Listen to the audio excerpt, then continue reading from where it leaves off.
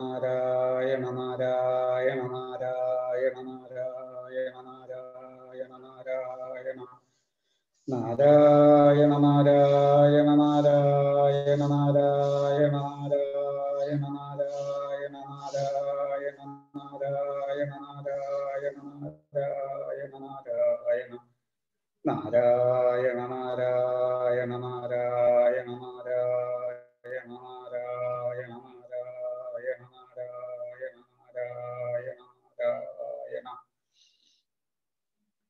हरे राम हरे राम राम राम, हरे हरे। हरे कृष्ण हरे कृष्ण कृष्ण कृष्ण, हरे हरे। हरे राम हरे राम राम राम, हरे हरे। हरे कृष्ण हरे कृष्ण कृष्ण कृष्ण, हरे हरे। हरे राम हरे राम राम राम, हरे हरे। हरे कृष्ण हरे कृष्ण कृष्ण कृष्ण, हरे हरे। ओ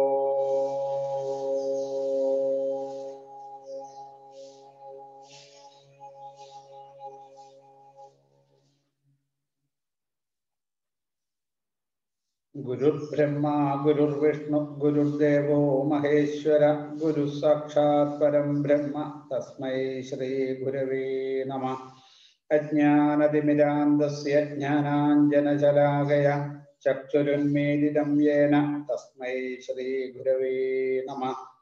മാനാതീതഗുണാകര സുമനസാമഗ്രേസര ശ്രീപതി ധ്യാനാവസ്ഥിതമാനസ പരിണത പ്രജ്ഞ പ്രകൃഷ്ടാശയ നാനാശാസ്ത്രവിശാരദ പ്രണിപതൽ ഭക്തവ്രജൈരാവൃത ജ്ഞാനാനന്ദയതീശ്വരോ വിജയതേ സൗജന്യരത്നാകര മൂകം കരോതി വാചാലം പങ്കും ലംഘയതേ ഗിരിം കൃപാതമഹം വന്ദേ ബാലകൃഷ്ണം പരം ഗുരും वागीशाद्या सुमनसां सर्वार्थानामुपक्रमेयं नत्वा कृतकृत्याशिस्तं नमामि गजाननं।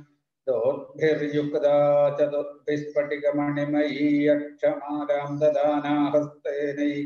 पद्मं सितमपि च शुकं पुस्तकं चापदेना भासा कुन्दैर्दुःशङ्खस्फटिकमणिनिभा भासमाना सामे वाग्देवदेयं निवसतु वदने सर्वधा सुप्रसन्ना।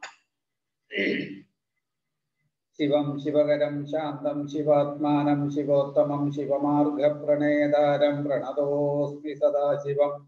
सर्वमङ्गलमङ्गन्ये शिवे सर्वार्थसाधिके शरण्ये त्र्यम्बके गौरी नारायणि नमोऽस्तुते पीतांबरंगरविराजितशंखचक्रकौमोदगी सदसिजं गरुणासमुद्रं राधासहायमतिसुन्दरमन्दहासं वादारेशमनिशं हृदि भावयामि।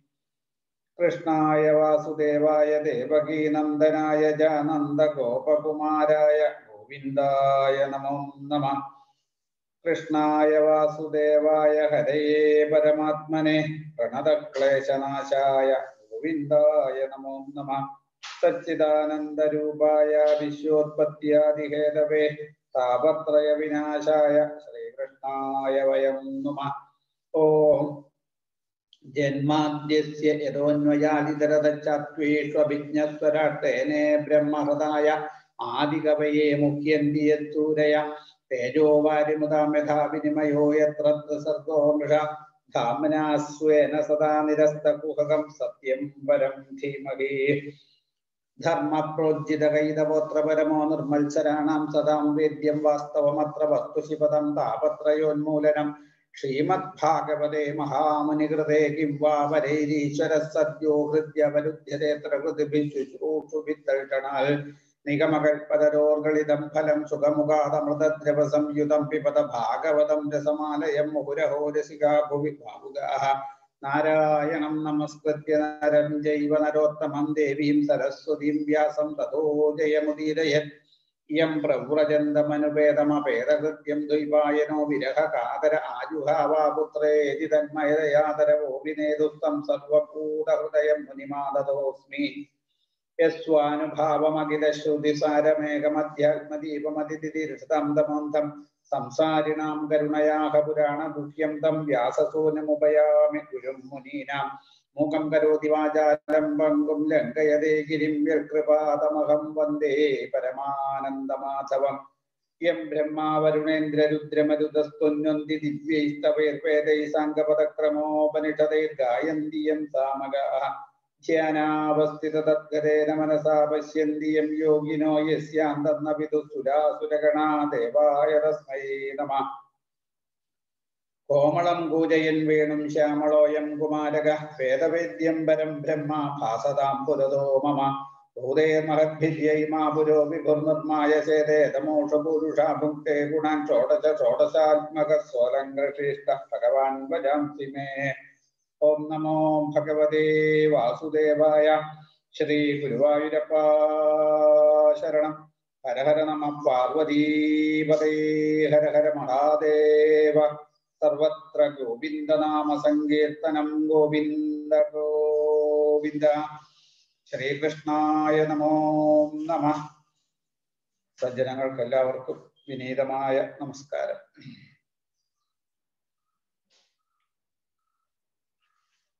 ശ്രീമദ് ഭാഗവതത്തിൽ വേദവ്യാസ മഹർഷി പത്ത് ലക്ഷണങ്ങളോട് കൂടിയിട്ടാണല്ലോ ശ്രീമദ് ഭാഗവതം നിർമ്മിച്ചിരിക്കുന്നത്. വേദത്തിന്റെ തന്നെ താല്പര്യമാണ് അല്ലെങ്കിൽ വേദത്തിന്റെ അർത്ഥത്തെയാണ് ഭാഗവതത്തിൽ ബോധിപ്പിക്കുന്നത്. ഓരോ ശ്ലോകങ്ങളിലും ഓരോ പദത്തിലും വേദത്തിൽ പറഞ്ഞ കാര്യങ്ങളെ നമുക്കൊക്കെ മനസ്സിലാക്കത്തക്ക വിധത്തിൽ ഉപദേശങ്ങളായിട്ടും കഥകളായിട്ടും സ്തുതികളുടെ രൂപത്തിലും നമുക്ക് അനുഭവിക്കാൻ പാകത്തിനാക്കി തന്നിരിക്കുകയാണ് വേദവ്യാസ മഹർഷി. അപ്പൊ ഭാഗവതത്തെ പൂർണമായിട്ട് ആശ്രയിച്ചു കഴിഞ്ഞാൽ ഭാഗവതം ശരിയായിട്ട് പഠിച്ചാൽ വേദത്തിന്റെ താല്പര്യം അല്ലെങ്കിൽ ആ വേദത്തിൽ വിധിച്ചതായിട്ടുള്ള ധർമ്മത്തെ നമ്മൾ ശരിയായിട്ട് അനുഭവിക്കാൻ തക്ക വിധത്തിലായി തീരും. ഭാഗവതം ശരിയായിട്ട് പഠിച്ചു കഴിഞ്ഞാൽ ആ ഭാഗവതം കൊണ്ട് പൂർണത കിട്ടും. കാരണം വേദത്തിൽ പൂർണനായിട്ടുള്ള ഭഗവാനെയാണ് അല്ലെങ്കിൽ ആ സച്ചിദാനന്ദ സ്വരൂപനായിട്ടുള്ള ഭഗവാനെ വേണ്ടതുപോലെ അവതരിപ്പിച്ചിരിക്കുകയാണ്. അല്ലെങ്കിൽ വേദം ആ ഭഗവത് സ്വരൂപത്തെ നമുക്ക് കാണിച്ചു തരികയാണ്. ഇതുപോലെ ഭാഗവതത്തിലും ആ ഭഗവാന്റെ പ്രഭാവത്തെ നമുക്ക് പല ഭാവത്തിലൂടെയും അനുഭവ അനുഭവ അനുഭവിക്കാൻ തക്ക വിധത്തിലാക്കി തന്നിരിക്കുകയാണ് വേദവ്യാസ മഹർഷി. അപ്പൊ ഭാഗവതം ശരിയായിട്ട് പഠിച്ചു കഴിഞ്ഞാൽ ഭഗവാനെ കുറിച്ച് അറിഞ്ഞു ഭഗവാനെ അനുഭവിച്ചു. ഭഗവാനെ അനുഭവിച്ചു കഴിഞ്ഞാലോ പിന്നെ ഭഗവാനിൽ നിന്ന് അന്യമായിട്ട് ഈ ലോകത്തിൽ ഒന്നുമില്ല.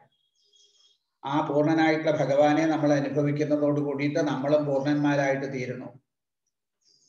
അപ്പോഴാണ് നമുക്ക് പൂർണമായിട്ടുള്ള സംതൃപ്തി അല്ലെങ്കിൽ ആ യഥാർത്ഥത അല്ലെങ്കിൽ മനുഷ്യജന്മം കൊണ്ട് നേടേണ്ടത് നേടുന്നത് ആ സമയത്താണ്. വേദത്തിലെ പ്രതിപാദ്യം ആ നിർഗുണ ബ്രഹ്മമാണ്. അതുപോലെ ഭാഗവതത്തിൽ പ്രതിപാദിച്ചിരിക്കുന്നതും ഭഗവാനെയാണ്. ആ നിർഗുണ ബ്രഹ്മം തന്നെയാണ് ഈ അതായത് ശ്രീകൃഷ്ണ സ്വരൂപത്തിൽ വിളങ്ങുന്നത്. ഈ വേദത്തിലൊക്കെ മൂന്ന് സമ്പ്രദായമുണ്ട്. വേദത്തിൽ ഇതിഹാസങ്ങൾ അതുപോലെ ഉപദേശങ്ങൾ കഥകൾ സ്തുതികൾ. ധാരാളം സ്തുതികളുണ്ട് വേദത്തിൽ. അതുപോലെ തന്നെ കഥകൾ പറയുന്നുണ്ട്.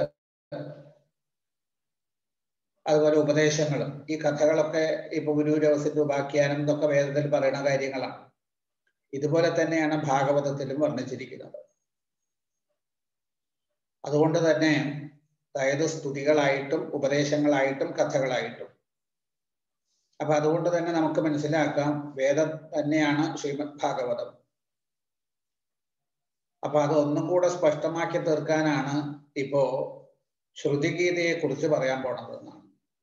വേദസ്തുതി എന്നാണ്. വേദങ്ങൾ നിർഗുണ നിരാകാരമായിട്ടുള്ള ബ്രഹ്മത്തെ ആ സ്തുതിക്കുന്ന മാർഗം അതായത് ഭഗവാന്റെ സഗുണ നിർഗുണ ഭാവങ്ങളെയാണ് വേദങ്ങൾ സ്തുതിക്കുക. അപ്പൊ അതിനെയാണ് ബോധിപ്പിക്കുന്നത് എൺപത്തി ഏഴാമത്തെ അധ്യായത്തിൽ. നമ്മൾ കഴിഞ്ഞ ദിവസം എൺപത്തി ആറാമത്തെ അധ്യായത്തിലെ അധ്യായത്തെ കുറിച്ചാണ് ചർച്ച ചെയ്തത്. അതിൽ സുഭദ്രാഹരണവും അതുപോലെ തന്നെ ശ്രുതദേവൻ എന്ന ബ്രാഹ്മണനെയും ബഹുലാശ്വൻ എന്ന മിഥില രാജാവിനെയും ശ്രീകൃഷ്ണ ഭക്തി കൊണ്ട് പൂർണന്മാരായിട്ട് തീർന്ന സമയത്ത് ഭഗവാൻ അവരെ അനുഗ്രഹിക്കാൻ വരുന്ന രംഗവും ഭഗവാൻ അവർക്ക് കൊടുക്കുന്ന ഉപദേശവും ഒക്കെയാണ് നമ്മൾ കഴിഞ്ഞ ദിവസം അനുസ്മരിച്ചത്. അപ്പൊ അവിടെ ആ ശ്രീകൃഷ്ണ ഭഗവാൻ ആ ഭക്തി കൊണ്ട് പൂർണന്മാരായിട്ട് തീർന്നപ്പോ ഭക്തി കൊണ്ട് മാത്രമാണ് നമ്മുടെ മനസ്സിനെ ആ വാസനകളിൽ നിന്നൊക്കെ നിവർത്തിപ്പിച്ചിട്ട് ആ പൂർണഭാവത്തിലേക്ക് എത്തിക്കാൻ പറ്റുള്ളൂ. ഭക്തി കൊണ്ട് മനസ്സ് ശുദ്ധമായി കഴിഞ്ഞാൽ ആ പൂർണനായിട്ടുള്ള ഈശ്വരൻ ആ ആത്മാവ് ഭഗവാൻ നമ്മുടെ ഹൃദയത്തിൽ പൂർണമായിട്ട് വിളങ്ങും. അപ്പോൾ ഹൃദയത്തിൽ പൂർണമായിട്ട് ഈശ്വരന്റെ അനുഭവം വന്നു കഴിഞ്ഞാൽ അവന്റെ ദൃഷ്ടി തന്നെ ഈശ്വരപരമായിട്ട് തീരും. അവൻ കാണുന്ന ലോകം ഈശ്വരപരമായിട്ടുള്ള ലോകമാണ്. കാണുന്നതൊക്കെ ഈശ്വരന്റെ സ്വരൂപാന്തരങ്ങൾ. അപ്പൊ അത് ഒന്ന് ഉറപ്പിക്കാനാണ് ഭഗവാൻ തന്നെ ബഹുലാശ്വനും അതുപോലെ ശുദ്ധദേവ ബ്രാഹ്മണനും ഉപദേശം കൊടുക്കുന്നത് എന്നെ പൂജിച്ചതുപോലെ എന്നെ എന്റെ അതേ ഭാവത്തിൽ ഋഷിമാരെയും കണ്ടുകൊണ്ട് അവരെയും ഈശ്വരഭാവത്തിൽ പൂജിക്കുക. ഭഗവാനും ഭക്തനും രണ്ടല്ല. ഭഗവാന്റെ തന്നെ ആ ഭഗവാന്റെ സ്വരൂപത്തെ അനുഭവി അനുഭവിക്കാനും അറിയാനും ഇപ്പൊ ഭാഗവതത്തിൽ ഭഗവാന്റെ കഥകളൊക്കെ ഇഷ്ടം പോലെ വർണിച്ചിട്ടുണ്ട്. എന്നാൽ അതിൽ കൂടുതൽ ഭഗവാന്റെ ഭക്തന്മാരുടെ കഥകളുമാണ് വർണിച്ചിരിക്കുന്നത്. ഇതിനു വേണ്ടിയിട്ട് നമുക്ക് ഭഗവാന്റെ കഥകൾ കേട്ടിട്ട് ഭഗവാനെ പോലെ ആവാൻ കുറച്ച് വിഷമമൊക്കെയാണ് പക്ഷെ ഭക്തന്മാര് ആ ഭഗവാനെ അനുഭവിക്കാൻ വേണ്ടിയിട്ട് ചെയ്തിട്ടുള്ള പ്രവൃത്തികൾ അവരുടെ കഥകൾ അത് നമുക്കും ചിലപ്പോൾ അനുകരിക്കാൻ പറ്റും. അങ്ങനെ ആ അനുകരണത്തിലൂടെ നമുക്കും അവരനുഭവിച്ചതുപോലെ ഈശ്വരനെ അനുഭവിക്കാൻ പറ്റും. അപ്പൊ ഭക്തന്മാരും ഭഗവാനും രണ്ടല്ല. ആ ഭഗവാനെ പൂർണമായിട്ട് അനുഭവിച്ച കൂട്ടരാണ് ഭക്തന്മാര്. അപ്പൊ ഭക്തന്മാരെ പൂജിച്ച് ഭഗവാനെ പൂജിച്ചതിന് തുല്യം. ഭക്തന്മാരെ നമ്മൾ സേവിക്കണേ ഭഗവാനെ സേവിക്കുന്നതിന് തുല്യാണ്. ഭക്തന്മാരിലൂടെ നമുക്ക് ഭഗവത് അനുഭവമാണ് കിട്ടുക. ഭക്തന്മാരിലൂടെ മാത്രമേ ആ അനുഭവം കിട്ടുള്ളൂ.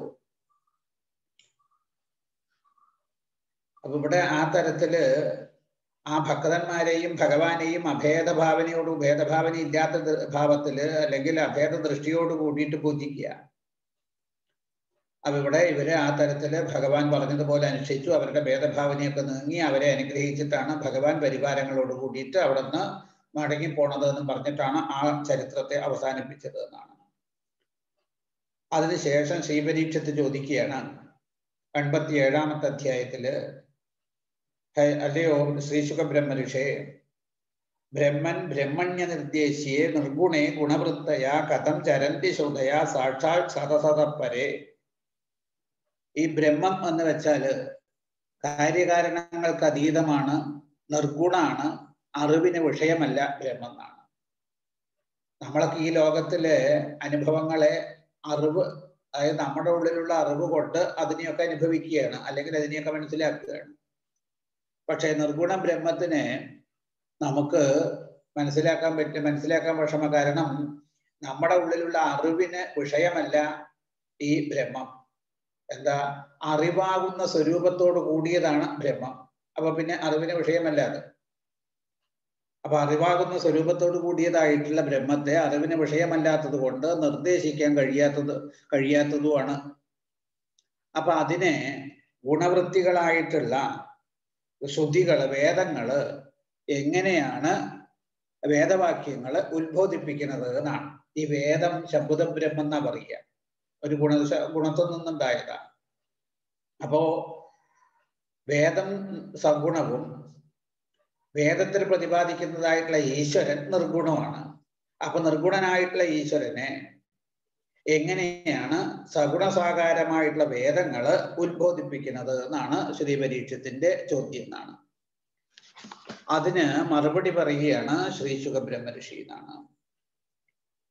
അതായത് ജാഗ്രത സ്വപ്നം സുഷുപ്തി ഈ മൂന്ന് അവസ്ഥകളെ അനുഭവിക്കുന്ന വ്യക്തിയാണ് ജീവൻ. ഈ മൂന്ന് അവസ്ഥകളും അതായത് നമ്മളിൽ ഈ ജാഗ്രതാവസ്ഥ സ്വപ്നാവസ്ഥ അതുപോലെ സുഷുപ്തി എന്ന അവസ്ഥ ഈ മൂന്ന് അവസ്ഥകളും ഇല്ല ഇല്ലാതായി കഴിഞ്ഞാൽ ശേഷിക്കുന്നതാണ് ആത്മാവ്. അപ്പൊ ഈ ആത്മാവും ബ്രഹ്മവും ഒന്ന് തന്നെയാണ്. അതായത് ഈ ബ്രഹ്മത്തിൽ ജാഗ്രത സ്വപ്നം സുഷുപ്തി എന്ന മൂന്ന് അവസ്ഥകൾ നമ്മൾ ആരോപിച്ചതാണ്. എങ്ങനെ? നമ്മൾ കയറ് കാണുമ്പോ അതിൽ പാമ്പിനെ ആരോപിക്കുന്നത് പോലെ അത് പാമ്പാണെന്ന് തോന്നണമെന്നും പറഞ്ഞ് തെറ്റിദ്ധരിക്കാറില്ലേ? ഇതുപോലെ ആ ബ്രഹ്മത്തിൽ ആരോപിച്ചിരിക്കുകയാണ് ഈ ജാഗ്രത സ്വപ്നം സുഷുപ്തി എന്ന മൂന്നവസ്ഥകൾ അവസ്ഥാത്രയങ്ങൾ. അപ്പൊ ഇവിടെ ഈ മൂന്ന് അവസ്ഥകളെയും നമ്മൾ തള്ളിക്കളഞ്ഞാൽ അല്ലെങ്കിൽ മൂന്ന് അവസ്ഥകൾ നമ്മൾ ആരോപിച്ചതാണല്ലോ തെറ്റിദ്ധരിച്ചതാണല്ലോ അപ്പൊ ആ മൂന്ന് അവസ്ഥകളെയും നമ്മൾ മാറ്റിക്കഴിഞ്ഞാൽ എങ്ങനെ ഈ മൂന്ന് അവസ്ഥകളെയും നമ്മളിൽ നിന്ന് മാറ്റുക?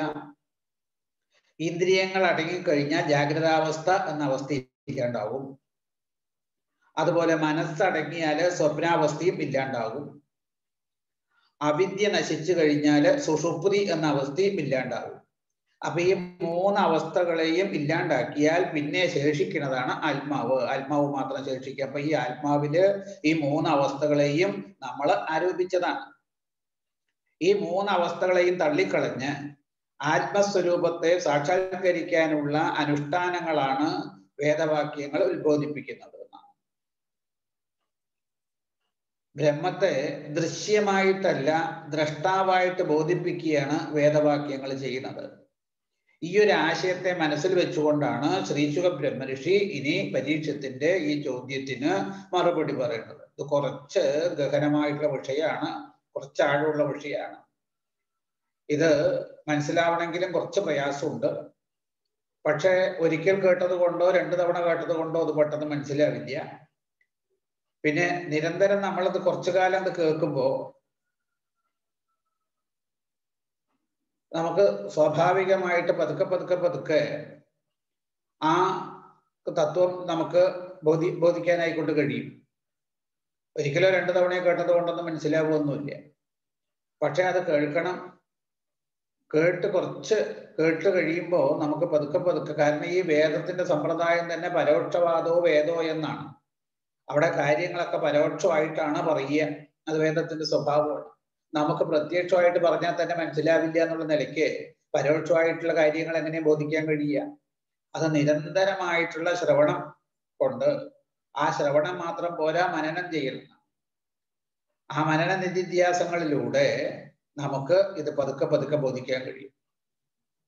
അതിപ്പോ എങ്ങനെ ഈ മനസ്സിന്റെ ശുദ്ധി ഈ മനസ്സിലെ അശുദ്ധിയാണ് നമ്മുടെ ഉള്ളിലുള്ള ആത്മാവിനെ നമുക്ക് അറിയാൻ പ്രയാസമായിട്ട് നിൽക്കുന്നത് തടസ്സമായിട്ട് നിൽക്കുന്നത് അപ്പൊ നിരന്തരമുള്ള അനുഷ്ഠാനങ്ങളിലൂടെ നമ്മുടെ മനസ്സിന്റെ അശുദ്ധിയെ നീക്കി നീക്കി മനസ്സ് ശുദ്ധമാകും തോറും നമുക്ക് നമ്മുടെ ഉള്ളിലുള്ള ആത്മാവിനെ അനുഭവിക്കാൻ എളുപ്പമായിട്ട് വരും. അപ്പൊ അനുഭവത്തിൽ ആ ഒരു ഭാവം കൂടി കൂടി കൂടി വരും. അപ്പൊ നമ്മുടെ മനസ്സിന്റെ ശുദ്ധിക്ക് അനുസരിച്ചിട്ട് നമുക്കത് മനസ്സിലാക്കാൻ പറ്റും. മനസ്സിന്റെ അശുദ്ധി കൊണ്ടാണ് നമുക്ക് ഈ തത്വം നമുക്ക് ബോധിക്കാൻ കഴിയാത്തത്. അപ്പൊ ആ മനഃശുദ്ധി വരുമ്പോ അപ്പൊ ആ മനഃശുദ്ധി തന്നെയാണ് അടിസ്ഥാനമായിട്ട് വേണ്ടത്. അതുകൊണ്ടാണ് ഈ വേദമൊക്കെ മനഃശുദ്ധിയുള്ള ആളുകൾക്ക് പഠിക്കാൻ പാടുള്ളൂ എന്ന് പറയണത്. കാരണം മനഃശുദ്ധി വന്നാലേ അതിന്റെ കാര്യങ്ങൾ അതിൽ പ്രതിപാദിച്ചിരിക്കുന്നതായിട്ടുള്ള കാര്യങ്ങൾ അതിന്റെ താല്പര്യം എന്താണ് എന്ന് മനസ്സിലാക്കിയിട്ട് നമുക്ക് അതിനെ അനുഷ്ഠിക്കാൻ പറ്റുള്ളൂ. വേദത്തിൽ രണ്ട് ധർമ്മത്തെ കുറിച്ച് പറയും പ്രവൃത്തി ധർമ്മവും നിവൃത്തി ധർമ്മവും. ആ പ്രവൃത്തിയിലൂടെ നമുക്ക് നിവൃത്തിയിലെത്തണം. പ്രവൃത്തി പെട്ടെന്ന് ഈ പ്രവർത്തിച്ചു കഴിഞ്ഞാൽ പിന്നെ ഒരു സ്വഭാവം ഉണ്ട് അത് പ്രവൃത്തിയിൽ തന്നെ നിൽക്കും. പിന്നെ നിവൃത്തിയിലേക്ക് എത്തില്ല. അപ്പൊ അതിന്റെ താല്പര്യം മനസ്സിലാക്കിക്കൊണ്ട് നമ്മൾ പ്രവർത്തിക്കുകയാണെങ്കിലോ ഇതിന്റെ വേദത്തിന്റെ താല്പര്യം നിവൃത്തിയാ. അപ്പൊ അത് മനസ്സിലാക്കിക്കൊണ്ട് അതാണ് ലക്ഷ്യം എന്ന് മനസ്സിലാക്കിക്കൊണ്ട് നമ്മൾ പ്രവർത്തിക്കുകയാണെങ്കിൽ പ്രവൃത്തി സ്വാഭാവികമായിട്ടും നിവൃത്തിയിലേക്ക് നയിക്കും നമ്മളെ. അതിന് സംശയമൊന്നുമില്ല. അപ്പൊ ഇവിടെ ആ തരത്തിലാണ് കാര്യങ്ങൾ ബോധിപ്പിക്കുന്നത്. അപ്പൊ അത് കുറച്ച് നന്നായിട്ട് ചിന്തിച്ചാൽ കുറച്ച് വേദാന്തത്തിലൊക്കെ കുറച്ച് ഗ്രാഹിയൊക്കെ ഉണ്ടെങ്കിൽ അതുപോലെ മനസ്സിന് ശുദ്ധി ഇനിയിപ്പൊ ആ വേദാന്തം പഠിച്ചിട്ടില്ല. അങ്ങനെ അങ്ങനെയുള്ള ആൾ അത് കേട്ടിട്ട് വിഷമിക്കേണ്ട മനസ്സിലായില്ല എന്ന് വിചാരിച്ചത് നമ്മളത് മനസ്സിലാക്കണം എന്ന ഒരു തോന്നൽ നമ്മുടെ ഉള്ളിലുണ്ടെങ്കിൽ ഈ പറഞ്ഞ തത്വം എനിക്ക് ബോധിക്കണം മനസ്സിലാകണം എന്നതൊരു ചിന്ത നമ്മുടെ ഉള്ളിലുണ്ടെങ്കിൽ തീർച്ചയായിട്ടും നമ്മളുടെ ഉള്ളിൽ അന്തര്യാമിയായിട്ടിരിക്കുന്ന ഭഗവാൻ അതിനുള്ള സാഹചര്യം ഉണ്ടാക്കി തരും. നമുക്ക് പതുക്കെ പതുക്കെ നമ്മുടെ മനസ്സിൽ ആ വാസനകളെ ആ ഭക്തിയിലൂടെ നശിപ്പിച്ച് നശിപ്പിച്ച് മനസ്സ് ശുദ്ധമാകുന്ന സമയത്ത് തീർച്ചയായിട്ടും നമുക്ക് ആ ഈശ്വരഭാവത്തെ അല്ലെങ്കിൽ വേദത്തിൽ പറഞ്ഞതായിട്ടുള്ള തത്വത്തെ ബോധിക്കാനും അനുഭവിക്കാനും കഴിയും. അപ്പൊ അത് പറ്റി എനിക്ക് പറ്റില്ലല്ലോ എന്ന് പറഞ്ഞ് തള്ളിക്കളയേണ്ടതല്ല അത്. അത് പഠിച്ച് എനിക്കതിനെ അറിയണം എന്നുള്ള ആ ചിന്തയോട് കൂടി നമ്മൾ അത് പഠിക്കണം. അങ്ങനെ പഠിക്കുന്ന സമയത്ത് ഓരോ ദിവസം അല്ലെങ്കിൽ ഓരോ തവണ നമ്മൾ അതിനെക്കുറിച്ച് പഠിക്കുന്ന സമയത്തും നമ്മുടെ മനസ്സ് ശുദ്ധമായി ഭഗവാനോട് അടുത്തടുത്തടുത്തടുത്ത് പിന്നെ ആ ഭഗവാനെ പൂർണമായിട്ട് അനുഭവിക്കാനും പറ്റും. അപ്പൊ അത് ശ്രദ്ധയോട് കൂടിയിട്ട് നമ്മൾ മനസ്സിലാക്കാൻ ശ്രമിക്കുക. പിന്നെ ഇതൊക്കെ ശരിയായിട്ട് മനസ്സിലാക്കി അതായത് മനസ്സിലാക്കിപ്പിച്ച് തരണമെങ്കിൽ ഈ പറയുന്ന ആൾക്കും അതിനെക്കുറിച്ച് ഒരു നല്ല അടിസ്ഥാനമായിട്ടുള്ള ബോധ്യം വേണം. എന്നെ സംബന്ധിച്ച് എനിക്കിപ്പോ ഈ ശ്രുതിഗീത പറയാനുള്ള യോഗ്യതയൊന്നും ഉണ്ട് എന്ന് എനിക്ക് തോന്നുന്നില്ല. കാരണം ഒരുപാട് നമുക്ക് ഒരുപാട് പരിധികളുണ്ട്. നമുക്ക് അതിനുള്ള അതിനെ കുറിച്ചുള്ള അറിവിന്റെ ആ കുറവ് നന്നായിട്ടുണ്ട്. കാരണം നമുക്കത് പൂർണമായിട്ടൊന്നും മനസ്സിലാക്കാനൊന്നും കഴിയില്ല. പിന്നെ ഗുരുനാഥന്മാരുടെ കൂടെ ഇരുന്നിട്ട് അവർ പറയണത് പറഞ്ഞു തന്നത് നമ്മുടെ ബുദ്ധിക്ക് അനുസരിച്ച് മനസ്സിലാക്കിയത് കുറച്ച് പറയാം എന്നല്ലാണ്ട്. ഇത് വലിയ വിഷയമാണ് അതിനെ കുറിച്ചിട്ടുള്ള ആ അറിവിന്റെ പരിമിതി ഒരുപാട് നമുക്കുണ്ട്. അത് പറയാനുള്ള പരിമിതി. അപ്പൊ ആ പരിമിതിയുടെ ഉള്ളിൽ നിന്നുകൊണ്ട് നമുക്ക് അതിനെ കുറിച്ച് ചർച്ച ചെയ്യാൻ പറ്റുമോ എന്ന് നോക്കാം എന്നേ പറയാൻ പറ്റുള്ളൂ. അതാണ് ആ ശുദ്ധിഗിരിയുടെ ഭാവം. അത് നമുക്കിനി ഒന്ന് നോക്കാം. അതായത് സർവശക്തനായിട്ടുള്ള ഭഗവാൻ മനുഷ്യർക്ക് ഈ ബുദ്ധി മനസ്സ് ഇന്ദ്രിയങ്ങൾ പ്രാണൻ ഇവയെ സൃഷ്ടിച്ചത് ധർമാർത്ഥ കാമ മോക്ഷങ്ങളെ സാധിക്കാൻ വേണ്ടിയിട്ടാണ് ഈ നാല് വിധ പുരുഷാർത്ഥങ്ങളെ സാധിപ്പിക്കാൻ വേണ്ടിയിട്ടാണ്. അതായത് ബുദ്ധി ഇന്ദ്രിയ മനപ്രാണാൻ ജനാനാം അസജൽ പ്രഭു മാത്രാർത്ഥം ച ഭവാർത്ഥം ച ആത്മനയ കൽപ്പനായ ച. അതായത് ഈ പുരുഷാർത്ഥങ്ങളെ സാധിപ്പിക്കാൻ വേണ്ടിയിട്ടാണ് മനുഷ്യർക്ക് ഈ ബുദ്ധി മനസ്സ് ഇന്ദ്രിയങ്ങൾ പ്രാണൻ ഇവയൊക്കെ സൃഷ്ടിച്ചത് ഈ അജ്ഞാനം കൊണ്ടാണ് ഈ ജീവന് ബന്ധം വരുന്നത് എന്നാണ്. അപ്പോ അജ്ഞാനം ഹേതുവായിട്ട് വന്നു ചേർന്ന ജീവന്റെ ബന്ധം ജ്ഞാനം കൊണ്ട് നശിക്കുള്ളൂ അപ്പൊ ഈ അജ്ഞാനത്തെ നശിപ്പിക്കലാണ് മോക്ഷപ്രാപ്തിക്കുള്ള അനുഷ്ഠാനം. ആ അജ്ഞാനം നീങ്ങണം. ഈ ശരീരമാണ് താൻ എന്ന തോന്നൽ. അതായത് ഈ അതാണ് ബന്ധം ജീവനെ സംബന്ധിച്ചിട്ട്. ആത്മാവാണ് താനെന്ന ആ ബോധം അതാണ് ജ്ഞാനം. അപ്പൊ ശരീരാണ് താനെന്ന ബന്ധം താനെന്ന തോന്നൽ ബന്ധത്തിനും. അതേപോലെ ആത്മാവാണ് താനെന്ന ആ ബോധം. ജ്ഞാനത്തിനും കാരണമായിട്ട് തീരുകയാണ്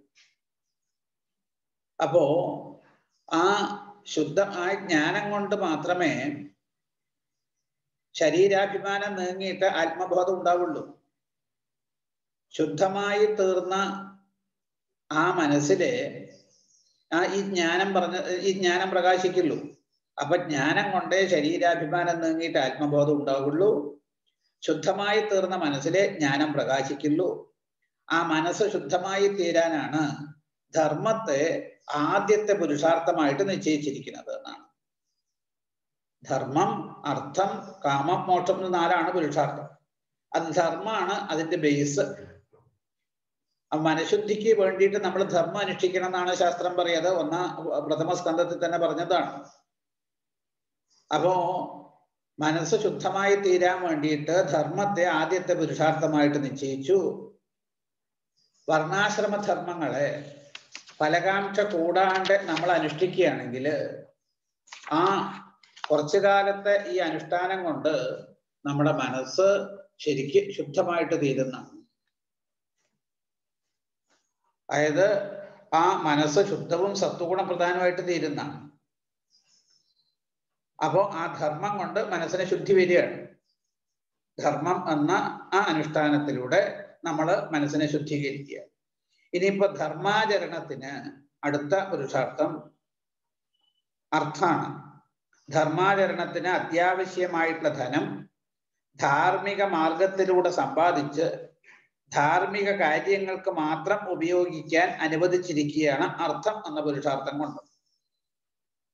അപ്പോ ഇവിടെ ധർമാചരണത്തിന് അത്യാവശ്യമായിട്ടുള്ള ധനത്തെ ധനം സമ്പാദിക്കലല്ല ജീവിതത്തിന്റെ ലക്ഷ്യം. പക്ഷെ ധർമാചരണത്തിന് ഈ അർത്ഥം വേണം. അപ്പൊ അതിന് അത്യാവശ്യമായിട്ടുള്ള ധനം ധാർമ്മികമായിട്ടുള്ള മാർഗത്തിലൂടെ സമ്പാദിച്ചിട്ട് അതിനെ ധാർമ്മികമായിട്ടുള്ള കാര്യങ്ങൾക്ക് മാത്രം ഉപയോഗിക്കുക. അതാണ് പുരുഷ അർത്ഥം എന്ന പുരുഷാർത്ഥം കൊണ്ട് സാധിക്കേണ്ടത്. അത് കഴിഞ്ഞ് പിന്നെ മൂന്നാമത്തേതാണ് കാമം. ശരീരത്തിന്റെ നിലനിൽപ്പിന് അത്യാവശ്യമായിട്ടുള്ള വിഷയങ്ങളെ ധർമ്മത്തിന് വിരോധം വരാത്ത വിധത്തിൽ അതായത് ധർമ്മത്തിന് വിരുദ്ധമല്ലാത്ത വിധത്തിൽ അനുവദി അനുഭവിക്കുക. അതാണ് കാമം എന്നാണ്. അപ്പൊ ശരീരത്തിന്റെ നിലനിൽപ്പിന് അത്യാവശ്യമായിട്ടുള്ള വിഷയങ്ങളെ ധർമ്മത്തിന് വിരുദ്ധമല്ലാത്ത വിധത്തിൽ അനുഭവിക്കാൻ അനുവദിച്ചിരിക്കുകയാണ് കാമം എന്ന പുരുഷാർത്ഥം കൊണ്ട്. ഇനി അടുത്തതാണ് മോക്ഷം. അതെങ്ങനെ?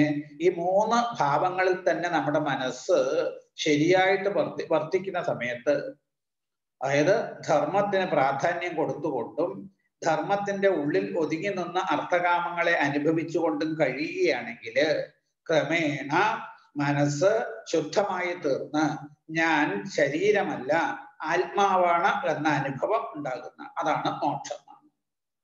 ഇങ്ങനെ ജീവന്മാർക്ക് മോക്ഷപ്രാപ്തി സാധിക്കാൻ വേണ്ടിയിട്ടാണ് ഈശ്വരൻ ബുദ്ധി മനസ്സ് ഇന്ദ്രിയങ്ങൾ പ്രാണൻ എന്നിവയൊക്കെ സൃഷ്ടിച്ചിരിക്കുന്നത്. അതുകൊണ്ട് എന്താ വേണ്ടത്? അതിനെ വേണ്ട വിധത്തിൽ ഉപയോഗിച്ചിട്ട് ജീവൻ ബന്ധനിവൃത്തി സാധിക്കുകയാണ് വേണ്ടത്. ജീവൻ ജീവന്റെ അജ്ഞാനത്തെ നശിപ്പിക്കണം. പൂർവികന്മാർക്കും പൂർവികന്മാരായ സനകാദി ഋഷിമാര് ഈ ബ്രഹ്മജ്ഞാനത്തെ ധരിച്ച കൂട്ടരാണ്.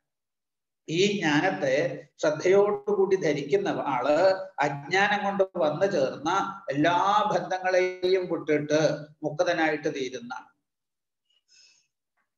അപ്പോ ആ മുക്തിയിലേക്ക് നമുക്ക് എത്താനായിക്കൊണ്ട് പറ്റുന്നതാണ് ഇത് ശരിക്ക് ആ ബ്രാഹ്മി ഉപനിഷത്ത് എന്നാണ് പറയുക ഇതിനെ. അതാണ് ഇവിടെ സൈഷ ഉപനിഷത് ബ്രാഹ്മി പൂർവേഷാം പൂർവജൈതൃതാം ശ്രദ്ധയാ ധാരയിൽ യസ്താം ക്ഷേമം ഗച്ഛേത കിഞ്ചന ഈ ശ്രുതിഗീത ഒരു ഉപനിഷത്താണ് അതായത് ഇപ്പോ ഭഗവത്ഗീതയൊക്കെ നമ്മൾ പഠിക്കുമ്പോ അതിലും അതും ഉപനിഷത്താണ് അല്ലെ? എന്താ? ശ്രീമദ് ഭഗവത്ഗീതാസു ഉപനിഷത്സു എന്നും പറഞ്ഞിട്ടാണ് നമ്മൾ അധ്യായം അവസാനിപ്പിക്കുമ്പോൾ ചൊല്ലുക. ബ്രഹ്മവിദ്യായ യോഗശാസ്ത്രേ ശ്രീകൃഷ്ണാർജുന സംവാദേ എന്നും പറഞ്ഞിട്ടാണ്. അപ്പൊ അത് ഇതുപോലെ തന്നെയാണ് ശ്രുതിഗീതയും ബ്രാഹ്മി ഉപനിഷത്താണ്. എന്നാണ് ഉപനിഷത്ത് എന്ന് വെച്ചാൽ ആത്മാവ് തന്നെ. ആ ആത്മാവിനെ നമുക്ക് ബോധിപ്പിച്ച് തരികയാണ്. ഈ വേദാന്തം വേദത്തിന്റെ അന്താണ്. അതോടുകൂടെ അവിടെ എത്തുമ്പോ എല്ലാം അടങ്ങുകയാണ്. അപ്പൊ ഈ അതിനെ വർണിച്ചു കൊടുക്കുകയാണ്. അതായത് പണ്ട് അത്രതേ വർണയിഷ്യാമി. ഗാഥാം നാരായണാഞ്ജിതാം നാരദസ്യ സംവാദം ഋഷേർ നാരായണസ്യജാം നാരായണ മഹർഷി നാരദന് ഉപദേശിച്ചു കൊടുത്ത രൂപത്തിൽ ഞാൻ അങ്ങേക്ക് അത് കേൾപ്പിച്ചു തരാം എന്നാണ് ശുഖമഹർഷി പറയുന്നത്. എന്നാണ് ഭക്തനായിട്ടുള്ള ശ്രീനാരദൻ ഏകതാ നാരദോ ലോകാൻ പര്യടൻ ഭഗവത് പ്രിയ സനാതന ഋഷിം ദൃഷ്ടം അയോ നാരായണാശ്രമം. ഭക്തനായിട്ടുള്ള നാരദ മഹർഷി ലോകങ്ങളിലൊക്കെ ഇങ്ങനെ ത്രൈലോക്യത്തിലും ചുറ്റി സഞ്ചരിക്കുന്ന ആളാണ്. ആ കൂട്ടത്തിൽ ഒരു ദിവസം നാരായണ മഹർഷിയെ കാണാനായിട്ട് ബദരിയാശ്രമത്തിലെത്തി എന്നാണ്. ബദരിയാശ്രമത്തിൽ തത്രോ തത്രോപവിഷ്ടം ഋഷിഭി കലാഭദ്രാമവാസിഭി യോവൈ ഭാരതവർഷേസ്മിൻ ക്ഷേമായ സ്വസ്ഥയേ നൃണാം. ധർമ്മജ്ഞാന ശമോവേദ ആകൽപാദാസ്തിതത്തവ അതായത് ഭാരതത്തിലെ മനുഷ്യരുടെ ശ്രേയസിന് വേണ്ടിയിട്ട് ധർമ്മം ജ്ഞാനം ശമം എന്നിവയോടുകൂടെ തപസ് അനുഷ്ഠിച്ചുകൊണ്ടിരിക്കുകയാണ് നാരായണ മഹർഷി എന്നാണ്. അപ്പൊ അത് ഭാരതത്തിന്റെ മാത്രം പ്രത്യേകത ഈ പറയണത് ഈ ഭാരതത്തിൽ മാത്രമേ ഈ തരത്തിൽ തപസ്സികൾ കാണുള്ളൂ.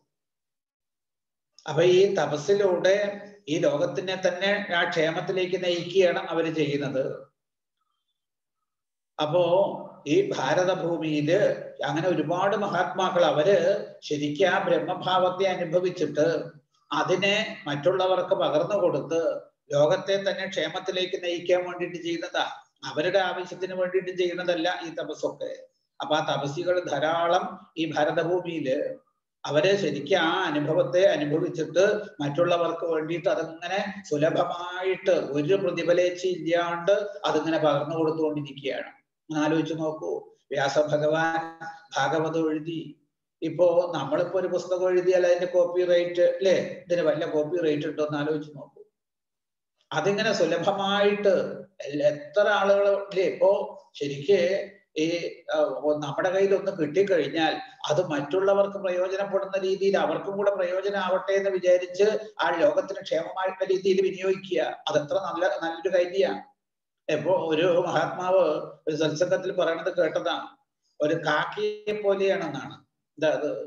ഈ കാക്ക എന്തെങ്കിലും ഒരു പദാർത്ഥം കിട്ടിക്കഴിഞ്ഞാൽ കാ കാ കാന്നും പറഞ്ഞ് ഒരു നാലഞ്ച് കാക്കകളെ കൂട്ടിയിട്ട് അത് കഴിക്കുള്ളൂ. കാരണം അതിന് കിട്ടിയത് മറ്റുള്ളവർക്കും കൂടെ നോക്കൂ ആ കാക്കയ്ക്ക് പോലും ആ ഒരു ഭാവം ഉണ്ടെങ്കിൽ അവ മനുഷ്യന് എത്ര ഭാവം വേണം? പക്ഷെ ഇന്ന് ആ ഒരു ഭാവം ഇല്ലാതെ തനി സ്വാർത്ഥന്മാരായിട്ട് തീർന്നിരിക്കുന്ന ഈ മനുഷ്യന്മാരാണ്.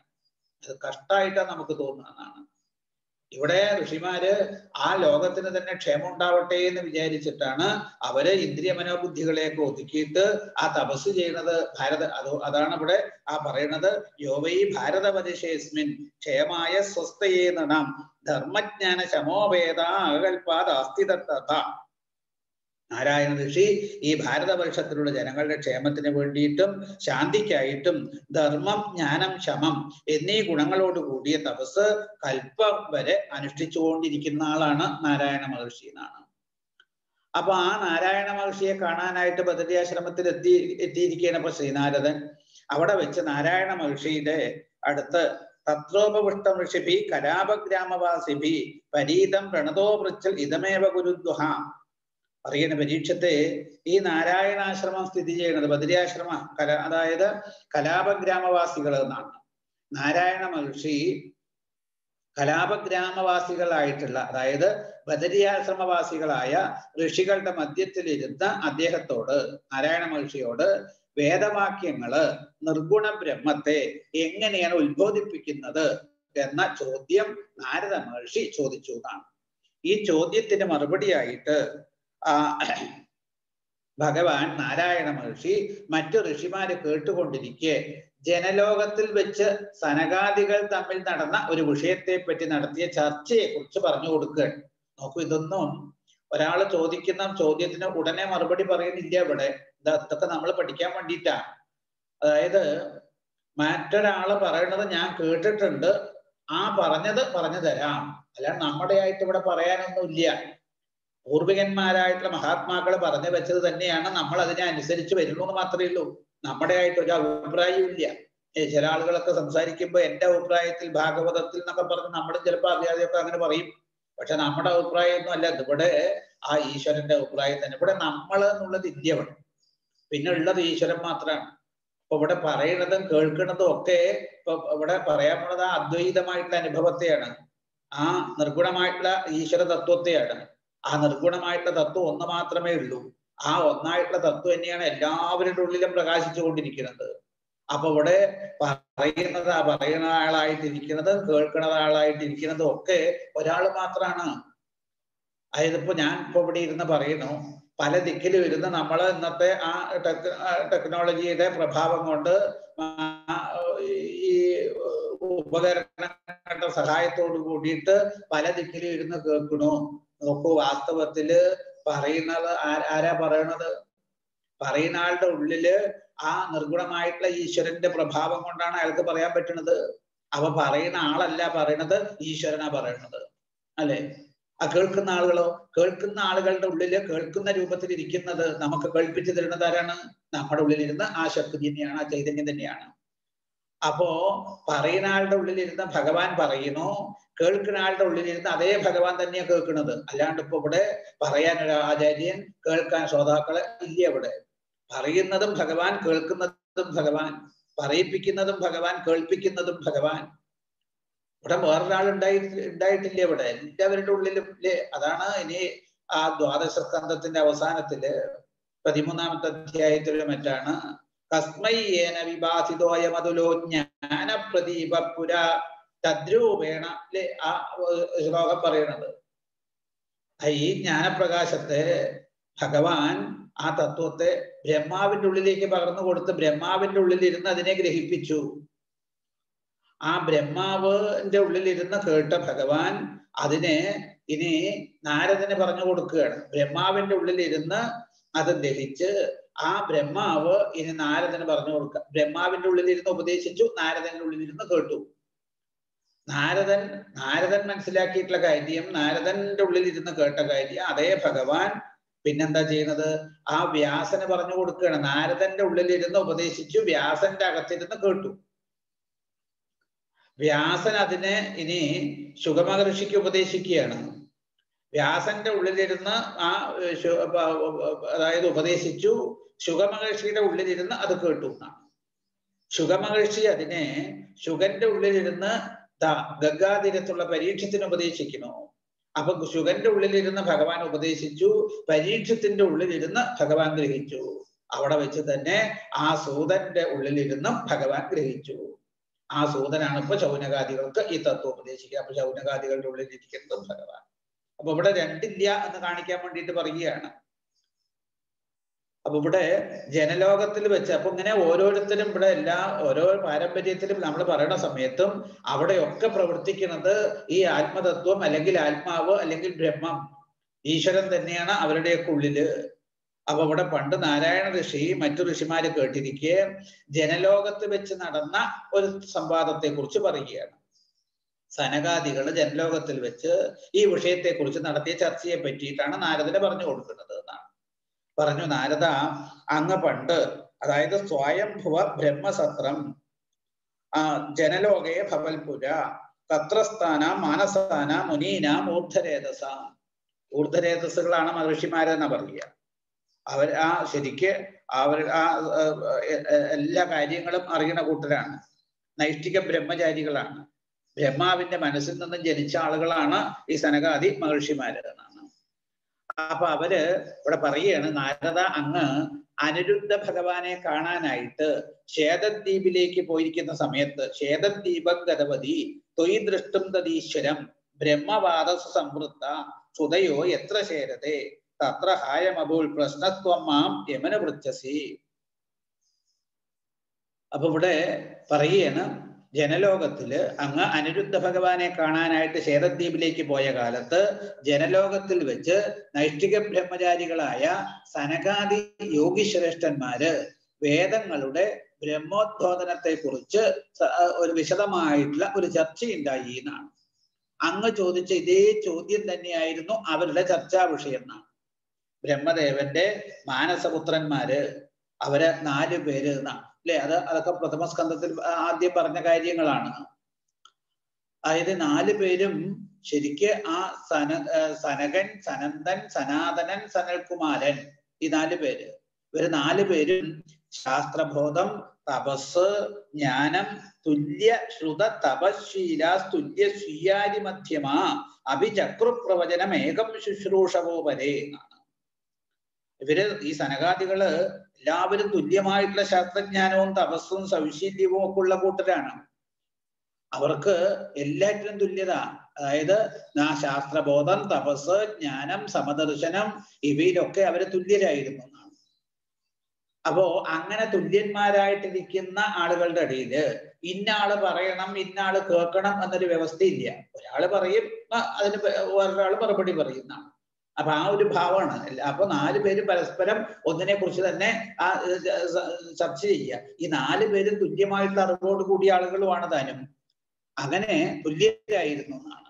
എങ്കിലിപ്പോ സനന്ദൻ വക്താവായിട്ടും മറ്റു മൂന്ന് പേരും ശ്രോതാക്കളുമായിട്ടാണ് ഈ ചർച്ച നടന്നത് എന്നാണ്. അപ്പൊ സനന്ദൻ പറയ പറഞ്ഞു താൻ സൃഷ്ടിച്ച ഈ ജഗത്തിൽ അതായത് സുസൃഷ്ടം സുസൃഷ്ടമിതമാപീയ ശയാനം സഹശക്തിഭി തതന്തേ ബോധയാൻ ചക്രുത്തല്ലിംഗേ സുതയപരം അതായത് താൻ സൃഷ്ടിച്ചതായിട്ടുള്ള ഈ ഈ ജഗത്തിനെ തന്നിൽ തന്നെ ലയിപ്പിച്ച് പ്രളയകാലത്ത് യോഗനിദ്രയിൽ മുഴുകിയ ഈശ്വരനെ പ്രളയത്തിന്റെ അവസാനത്തിൽ അദ്ദേഹത്തിൽ നിന്ന് ഈശ്വരനിൽ നിന്ന് തന്നെ നിശ്വാസ രൂപേണ ആദ്യം ഉണ്ടായതായ വേദങ്ങൾ സ്തുതിക്കാൻ തുടങ്ങി. ഇപ്പൊ വേദങ്ങൾ ഭഗവാൻ അത് നേരത്തെ പറഞ്ഞതാണ് യസ്യ നിശ്വസിതം വേദ. അപ്പൊ ഭഗവാനിൽ നിന്ന് തന്നെ ഉണ്ടായിട്ടുള്ള നിശ്വാസ രൂപേണ ഉണ്ടായിട്ടുള്ള വേദങ്ങൾ സ്തുതിക്കാൻ തുടങ്ങിയെന്നാണ് അതെങ്ങനെയെന്നാണെങ്കിൽ ഈ ചക്രവർത്തി പ്രഭ പകൽ പകലുള്ള പണികളൊക്കെ കഴിഞ്ഞിട്ട് രാത്രി ഉറങ്ങാൻ കിടക്കും ഉറങ്ങിയിട്ട് അദ്ദേഹം ഉണരുന്ന സമയത്ത് അതായത് ചക്രവർത്തിയുടെ ഗുണഗണങ്ങൾ വർണിച്ച് സ്തുതിപാഠകന്മാര് പ്രഭാതകാലത്ത് അദ്ദേഹത്തെ ഉണർത്തുന്നത് പോലെ ഈശ്വരന്റെ സഗുണ നിർഗുണ ഭാവങ്ങളെ പ്രകാശിപ്പിച്ചുകൊണ്ടാണ് വേദങ്ങൾ സ്തുതിച്ചത് എന്നാണ്. വാസ്തവത്തിൽ ഇപ്പൊ സ്തുതിപാഠകന്മാര് വന്ന് സ്തുതിക്കുമ്പോ ചക്രവർത്തി ഉണരണോന്നാ പറയും അല്ലേ? വാസ്തവത്തിൽ സ്തുതിപാഠകന്മാരുടെ സ്തുതി കേട്ടിട്ടൊന്നും അല്ല ചക്രവർത്തി ഉണരണത് ആണോ? ചക്രവർത്തിയുടെ ഉള്ളിൽ ചൈതന്യം പ്രവർത്തിക്കുന്നത് കൊണ്ടാണ് ആ ചക്രവർത്തി ശബ്ദം കേൾക്കുമ്പോൾ ഉണരുന്നത്. അല്ലാണ്ട് സ്തുതിപാഠകൻ നോക്കും മരിച്ചു പോയി കഴിഞ്ഞപ്പോ ചക്രവർത്തി സ്തുതിപാഠകന്മാർ വന്ന് സ്തുതി പാടിയാൽ ഉണരുവോ? ഉണരില്ല. അപ്പൊ ചൈതന്യം അവിടെ പ്രകാശിക്കുന്നത് കൊണ്ടാണ് അദ്ദേഹം ഉണരുന്നത്. അപ്പോ അതിൽ ഒരു കാരണമായിട്ട് മാറി ഈ സ്തുതിപാഠകന്മാരുടെ സ്തുതി എന്ന് മാത്രമേ ഉള്ളൂ. അല്ലെങ്കിൽ അതിന് ഹേതുവായിട്ട് മാറി എന്ന് മാത്രമേ ഉള്ളൂ. ഇവിടെ ഈ തരത്തിൽ ആ വേദങ്ങൾ ഭഗ ഈശ്വരൻ തന്നെ നിർഗമിച്ചതാണ്. ഭഗവാനിൽ നിന്ന് തന്നെ നിശ്വാസ രൂപേണ നിർഗമിച്ചതായിട്ടുള്ള ഈ വേദങ്ങൾ ആ ഈശ്വരന്റെ സഗുണ നിർഗുണ ഭാവങ്ങളെ സഗുണത്തിലൂടെ നിർഗുണത്തിലെത്തുക അതാണ്. അപ്പൊ ഈശ്വരനെ ആദ്യം സഗുണനായിട്ട് പിന്നെ ആ വാസ്തവ സ്വരൂപമായിട്ടുള്ള നിർഗുണ ഭാവത്തിലേക്ക് അപ്പൊ വേദങ്ങളും പതുക്കെ പതുക്കെ നമ്മളെ നിർഗുണ ഭാവത്തിലേക്കാണ് കൊണ്ടുപോകുക അതിനാദ്യം വേദത്തിൽ പറഞ്ഞതായിട്ടുള്ള പ്രവൃത്തി ആ പ്രവൃത്തികളിലൂടെ പ്രവൃത്തിയിലൂടെ ശരിക്ക് മനസ്സ് ശുദ്ധമാകുമ്പോൾ നമുക്ക് പ്രവൃത്തിക്കൊക്കെ അതീതനായിട്ട് വളങ്ങുന്ന നിർഗുണനായിട്ടുള്ള തത്വത്തിലേക്ക് എത്താനായി കൊണ്ട് കഴിയും. അതാണ് കാണിച്ചു തരുന്നത്. ഇനി ആ വേദങ്ങൾ ഭഗവാനെ സ്തുതിക്കുകയാണ് എന്നാണ് യഥാ ശയാനം സാമ്രാജ്യം ബന്ധിനത്തൽ പരാക്രമേ അല്ലെ അതായത് ചക്രവർത്തി ജോലിയൊക്കെ കഴിഞ്ഞിട്ട് ഉറങ്ങുമ്പോ പ്രഭാതത്തിൽ സ്തുതിപാഠകന്മാരെത്തി അദ്ദേഹത്തിന്റെ കീർത്തിയെയും വീരപരാക്രമങ്ങളെയും കുറിച്ച് പാടി പുകഴ്ത്തി അയാൾ ഉണരണോ അത് കേട്ടിട്ട്. അതുപോലെ യോഗനിദ്ര ചെയ്യുന്ന ഈശ്വരനെ വേദത്തിലെ ശ്രുതികളെ കൊണ്ട് ശ്രുതി ദേവതകൾ ഉണർത്തുകയാണ്. ഇനി ആ ശ്രുതി ആ ശ്രുതി ഇനി ആ ഓരോ ശ്ലോകത്തെ കുറിച്ച് നമ്മുടെ ആ ബുദ്ധിക്ക് അനുസരിച്ചിട്ട് നമുക്ക് അത് അതിനെ കുറിച്ച് ചിന്തിക്കാൻ ശ്രമിക്കാം എന്നാണ്. എന്താ? ശ്രുതയ ഊജൂത ആ പഠിക്ക സ്തുതിക്കുകയാണ് ജയ ജയ ജഖ്യജാം അജിത ദോഷ ഗൃഭീത ഗുണം ത്വമസീയതാത്മനാ സമവരുദ്ധ സമസ്ത ഭഗ അഗജഗദോക സാമഖില ശക്തി അവബോധകതേ കൊജിത ജയാത്മനാജകരതേനുപരേ നിഗമാം. അതായത് അജിതനാണ് ഭഗവാൻ അല്ലെ? ആരും ഇന്ന് വരെ ജയിച്ചിട്ടില്ല ഭഗവാനെ. അതായത് ആർക്കും ജയിക്കാൻ കഴിയില്ല. അജിത എന്നാണ് അല്ലെ? ഇപ്പൊ മിക്കയിടത്തും ഭഗവാൻ ഇങ്ങനെ ഈ അജിതനായിട്ട് അതായത് ആ പാലാഴി മദനത്തിൽ അജിതനായിട്ട് അവതരിച്ച ഭഗവാനാണ് കൂർമ്മസ്വരൂപത്തിൽ മന്ധരപർവതത്തെ താങ്ങി നിർത്തിയത് എന്നൊക്കെ അവിടെ പറഞ്ഞിട്ടുണ്ട്. അപ്പൊ ഇവിടെ ഭഗവാന് മാത്രമുള്ള പേരാണ് ശരിക്ക് അജിതൻ എന്നാണ്. ആ അജിതനായിട്ടുള്ള ഭഗവാൻ എല്ലാവരെയും ജയിക്കുന്ന മായയ്ക്ക് പോലും ജയിക്കാൻ കഴിയാത്ത ഭഗവാനെ ഈ മായ എല്ലാവരെയും ആക്രമിക്കും അല്ലേ ഈ മായയിൽ പെടാത്തതായിട്ട് ആരുമില്ല. അതായത് മായയെ കഷ്ടിച്ച് ജയിച്ചു എന്ന് പറയുന്നത് നരനാരായണ ഋഷിമാര് മാത്ര. അവരടക്കം കുറച്ചൊന്ന് ഭ്രമിച്ചിട്ടുണ്ട്. അപ്പൊ അത്രയും കേമാണ് ഈ മായ. അപ്പൊ മായ എല്ലാവരെയും ബാധിക്കുന്നതാണ്. അപ്പോ ഇവിടെ പറയുന്നത് എല്ലാവരെയും ജയിക്കുന്ന മായയ്ക്ക് പോലും ജയിക്കാൻ കഴിയാത്ത ആളാണ് ഭഗവാൻ. കാരണം ഭഗവാനിൽ നിന്ന് തന്നെ ഉണ്ടായിട്ടുള്ള ശക്തി വിശേഷമാണ് മായ. അപ്പൊ ഭഗവാനെ അത് ബാധിക്കില്ല. ഏകാദശത്തിൽ എന്താണ് മായ എന്ന് ചോദിക്കുമ്പോ അവിടെ തന്നെ പറയുന്നുണ്ട് ഉള്ളതായിട്ടുള്ള ഈശ്വരനെ മറിച്ച് ഇല്ലാത്തതായിട്ടുള്ള ലോകത്തെ തോന്നിപ്പിക്കുന്ന ഈശ്വരന്റെ തന്നെ ശക്തി വിശേഷമാണ് മായ എന്നാണ്. അപ്പൊ മായ നിന്ന് അന്യമല്ല ഭഗവാന്റെ തന്നെ ഒരു ശക്തിയാണ്. അത് ഭഗവാനെ ബാധിക്കില്ല മറ്റുള്ളവരെയൊക്കെ ബാധിക്കണു ഭഗവാനാൽ സൃഷ്ടിക്കപ്പെട്ട ഈ ലോകത്തെ ബാധിക്കുന്നതാണ്. ഭഗവാനെ ബാധിക്കണില്ല കാരണം ഭഗവാൻ മായയ്ക്ക് അതീതനായിട്ട് വളങ്ങുന്ന ആളാണ്. അതുകൊണ്ട് അവിടുന്ന് ജയിച്ചാലും ജയിച്ചാലും സർവപ്രകാരത്തിലും അങ്ങ് ഉത്കൃഷ്ടമായിട്ടുള്ള ഭാവത്തിൽ വർത്തിച്ചാലും അപ്പൊ എല്ലാ പ്രകാരത്തിലും എല്ലാ രീതിയിലും ജയിച്ചുകൊണ്ടിരിക്കുന്ന എല്ലാ പ്രകാരത്തിലും ഉത്കൃഷ്ടതയോടുകൂടി വർത്തിക്കുന്നത് ഈശ്വരനാണ് ഭഗവാനാണ്. ആ ജീവന്മാർക്ക് സ്വരൂപ വിസ്മൃതിയെ ഉണ്ടാക്കി തീർക്കുന്ന ഈ അവിദ്യയെ അജ്ഞാനത്തെ നശിപ്പിക്കണേ എന്നാണ് അതായത് ഈ അജ്ഞാനം കൊണ്ടാണ് ജീവന് ആ താൻ ശരീരമാണ് എന്നുള്ള തോന്നൽ വന്നിരിക്കുന്നത്.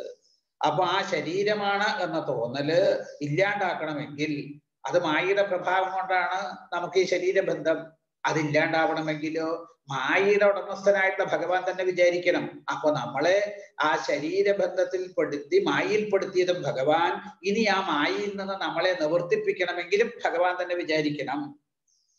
ഇവിടെ പറയുന്നുണ്ട് ആ ഏകാദശത്തിൽ തന്നെ അപ്പൊ മായ അതായത് മായ ബാധിക്കാതിരിക്കാൻ എന്താണ് ചെയ്യേണ്ടത് എന്നാണ് അവിടെ ചോദ്യം ചോദിക്കുന്നത് എന്നാണ്. അപ്പൊ അന്തരീക്ഷൻ എന്ന് പറഞ്ഞ യോഗിയാണ് അതിന് മറുപടി പറയണത് എന്ന് എനിക്ക് തോന്നുന്നു. അവിടെ എന്താ പറഞ്ഞത്? നമുക്ക് ഈ മായയെ ജയിക്കാനുള്ള കഴിവൊന്നുമില്ല. പിന്നെ എന്ത് വേണം? മായയുടെ അധീശനായിട്ടുള്ള ആ ഭഗവാനെ ആശ്രയിക്കുക നാരായണ പരായണനായിട്ട് ജീവിക്കുക.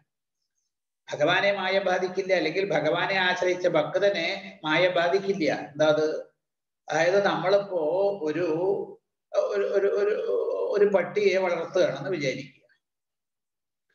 അപ്പൊ നമ്മൾക്ക് പരിചയമില്ലാത്ത ഒരാൾ ആ വീട്ടിലേക്ക് കയറി വരികയാണെങ്കിൽ സ്വാഭാവികമായിട്ടും ഈ പട്ടി ചാടി കുരച്ച് അയാളുടെ നേരെ പോകും. അപ്പൊ അയാൾ ഈ പട്ടിയുടെ പിടിയിൽ നിന്ന് രക്ഷപ്പെടാൻ എന്താ ചെയ്യുക? ഈ പട്ടിയുടെ ഉടമസ്ഥനെ വിളിക്കും. ആ വീട്ടുകാരനെ വിളിക്കും. നിങ്ങളുടെ പട്ടിയെ ഒന്ന് പിടിക്കൂ എന്ന്. ഇത് കേട്ട് ഉടമസ്ഥൻ വന്ന് ആ പട്ടിയുടെ അടുത്ത് ചെന്ന് ആ പട്ടിയുടെ പേര് വിളിച്ചാൽ തന്നെ പട്ടി അടങ്ങി. അപ്പൊ പിന്നെ പട്ടി ഒരിക്കലും ചാടി കളിക്കലൊന്നും ഇല്ല അയാൾക്ക് രക്ഷയും കിട്ടി. അപ്പൊ അയാൾ ഈ പട്ടിയുടെ പിടിയിൽ നിന്ന് രക്ഷപ്പെടാൻ എന്താ ചെയ്തത്? പട്ടിയുടെ ഉടമസ്ഥനെ വിളിച്ചു. ഇതുപോലെ മായയിൽപ്പെട്ട നമ്മളൊക്കെ മായയുടെ പിടിയിൽ നിന്ന് രക്ഷപ്പെടാൻ ഒറ്റ വഴിയുള്ളൂ മായയുടെ ഉടമസ്ഥനായിട്ടുള്ള ഭഗവാനെ ആശ്രയിക്കുക.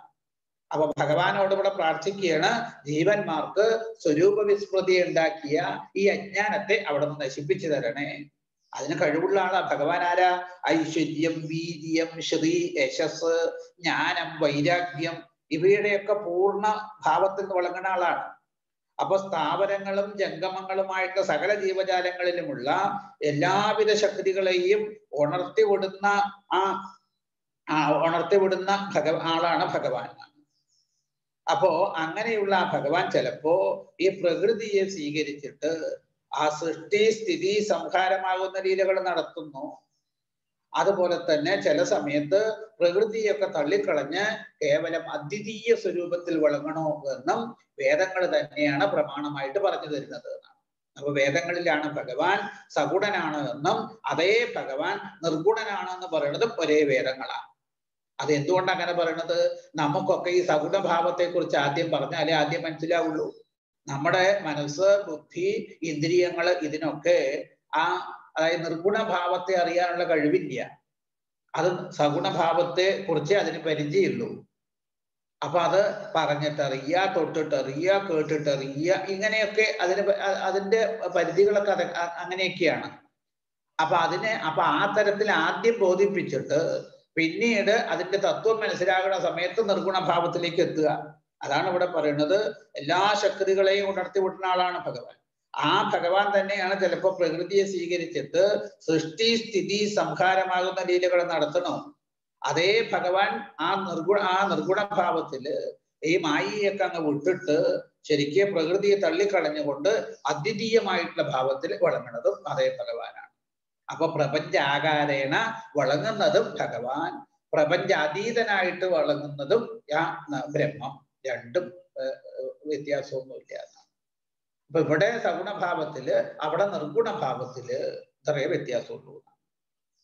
ഇനി ആ അടുത്ത ആ അതാണ് ആദ്യത്തെ ഒരു ശ്ലോകം കൊണ്ട് പറഞ്ഞത് എന്നാണ്. അത് കഴിഞ്ഞ് പിന്നെ ബൃഹദുപലബ്ധമേതദവയന്ത്യവശേഷതയാ യത ഉദയാസ്തമയോ വികൃതേർ മൃതിവാ വികൃതാൽ. കഥഋഷയോദുസ്ത്വയി മനോവചനാചരിതം കഥമയതാ ഭവന്തി ഭുവി ദത്തപദാനി നൃണാം. ഇതൊരു പ്രത്യേക വൃത്താണ്. കുക്കുടന്നോ ഇതൊക്കെ അങ്ങനെ രണ്ട് മൂന്ന് പേര് ആ വൃത്തത്തിൽ ചില പുസ്തകങ്ങളിൽ ഞാൻ കണ്ടിട്ടുണ്ട്. അപ്പൊ ഇത് ഈ വൃത്തത്തിൽ ഈ അധ്യായം മാത്രമേ ഉള്ളൂ ഇപ്പോ ഭാഗവതത്തിൽ. വേറെ ഒന്നും കാണില്ല. അത് കുറച്ച് പ്രയാസമായിട്ടുള്ള വൃത്തവുമാണ് അത് എന്നാണ് തക്കുടന്നോ കോവിലെന്നോ ഒക്കെ അതിന് പേര് പറയാറുണ്ട്. കേട്ടിട്ടുണ്ട്. അവിടെ ഏതൊക്കെ പുസ്തകങ്ങളിലെ വ്യാഖ്യാനത്തിലൊക്കെ നോക്കുമ്പോൾ അങ്ങനെ കാണുന്നുണ്ട്.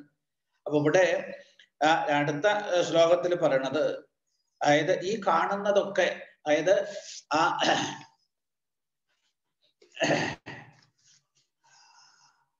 ഈ മൺപാത്രങ്ങൾ അതായത് മൺപാത്രങ്ങളായിട്ടുള്ള കലം മണ്ണ് കൊണ്ട് നമ്മൾ കലം കുടം ചട്ടി മുതലായിട്ടുള്ളവയൊക്കെ ഉണ്ടാക്കുക.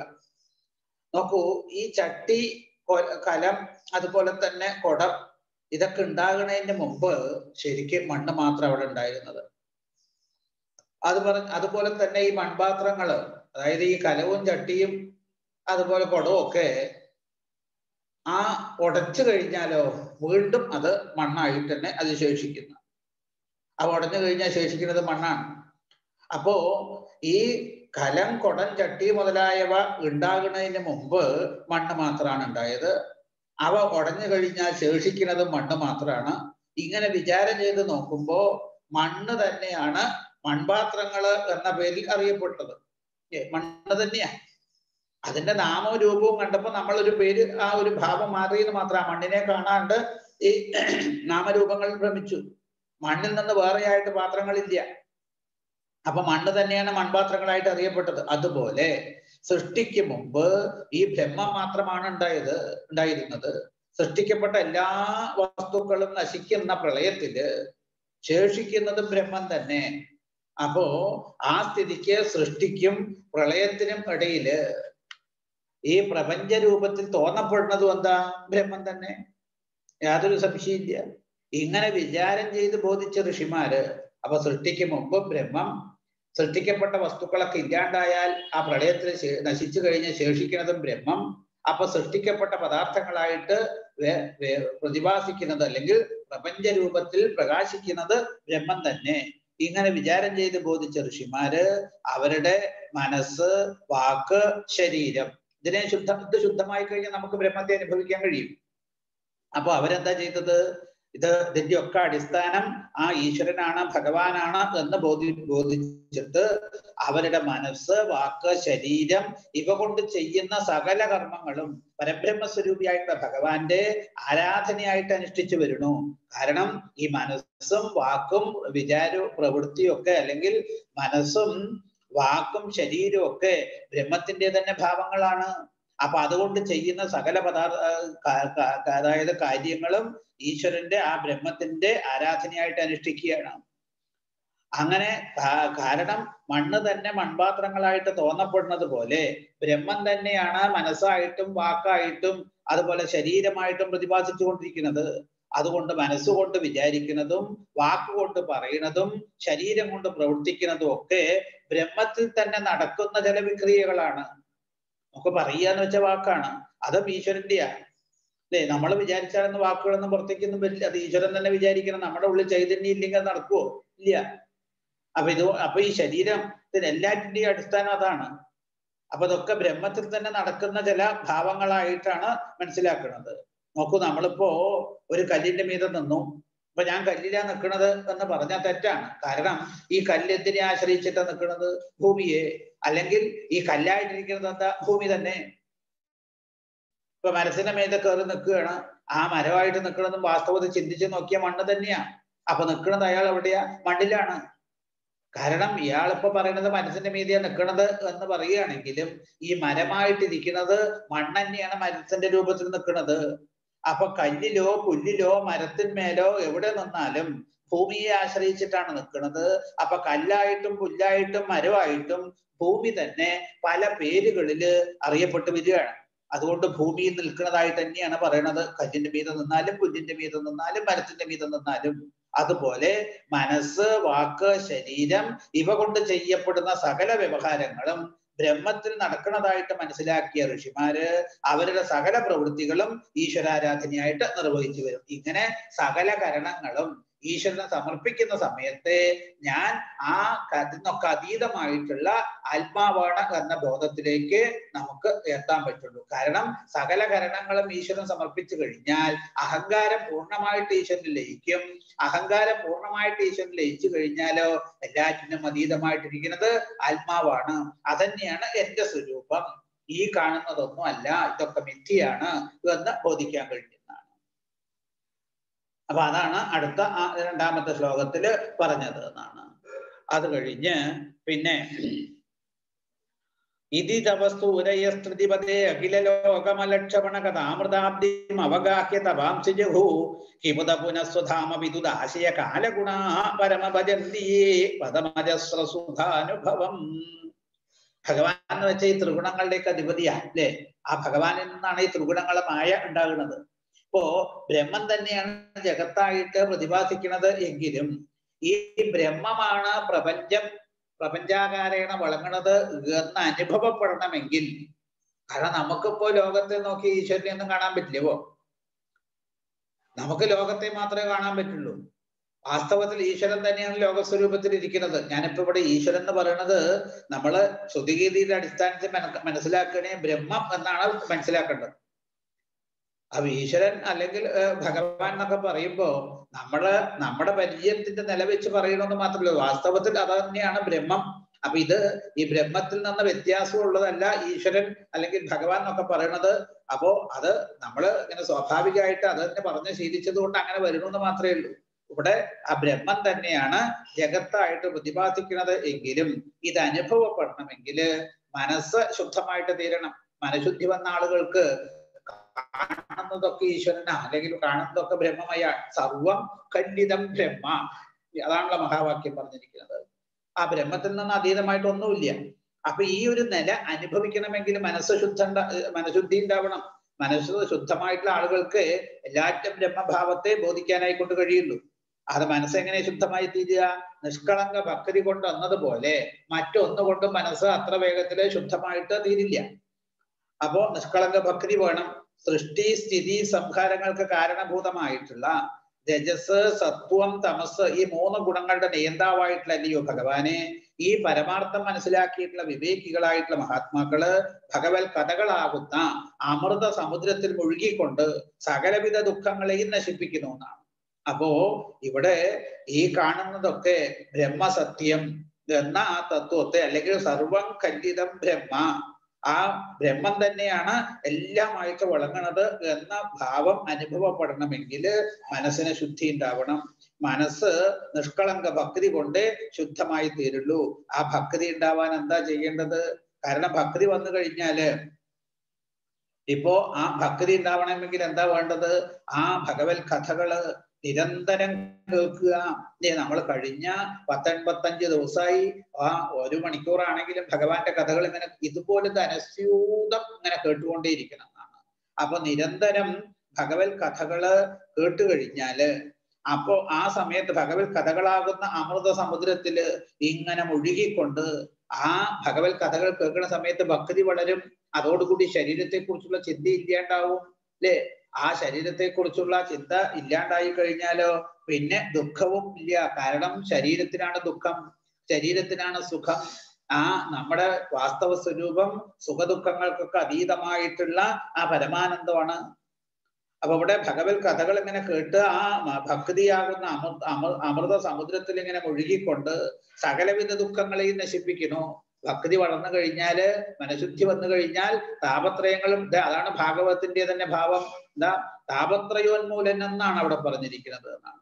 താപത്രയങ്ങൾ മുഴുവൻ അതോടുകൂടി നശിക്കുകയാണ്. സർവവിധ ദുഃഖങ്ങൾ അതോടുകൂടി നശിക്കുന്നു.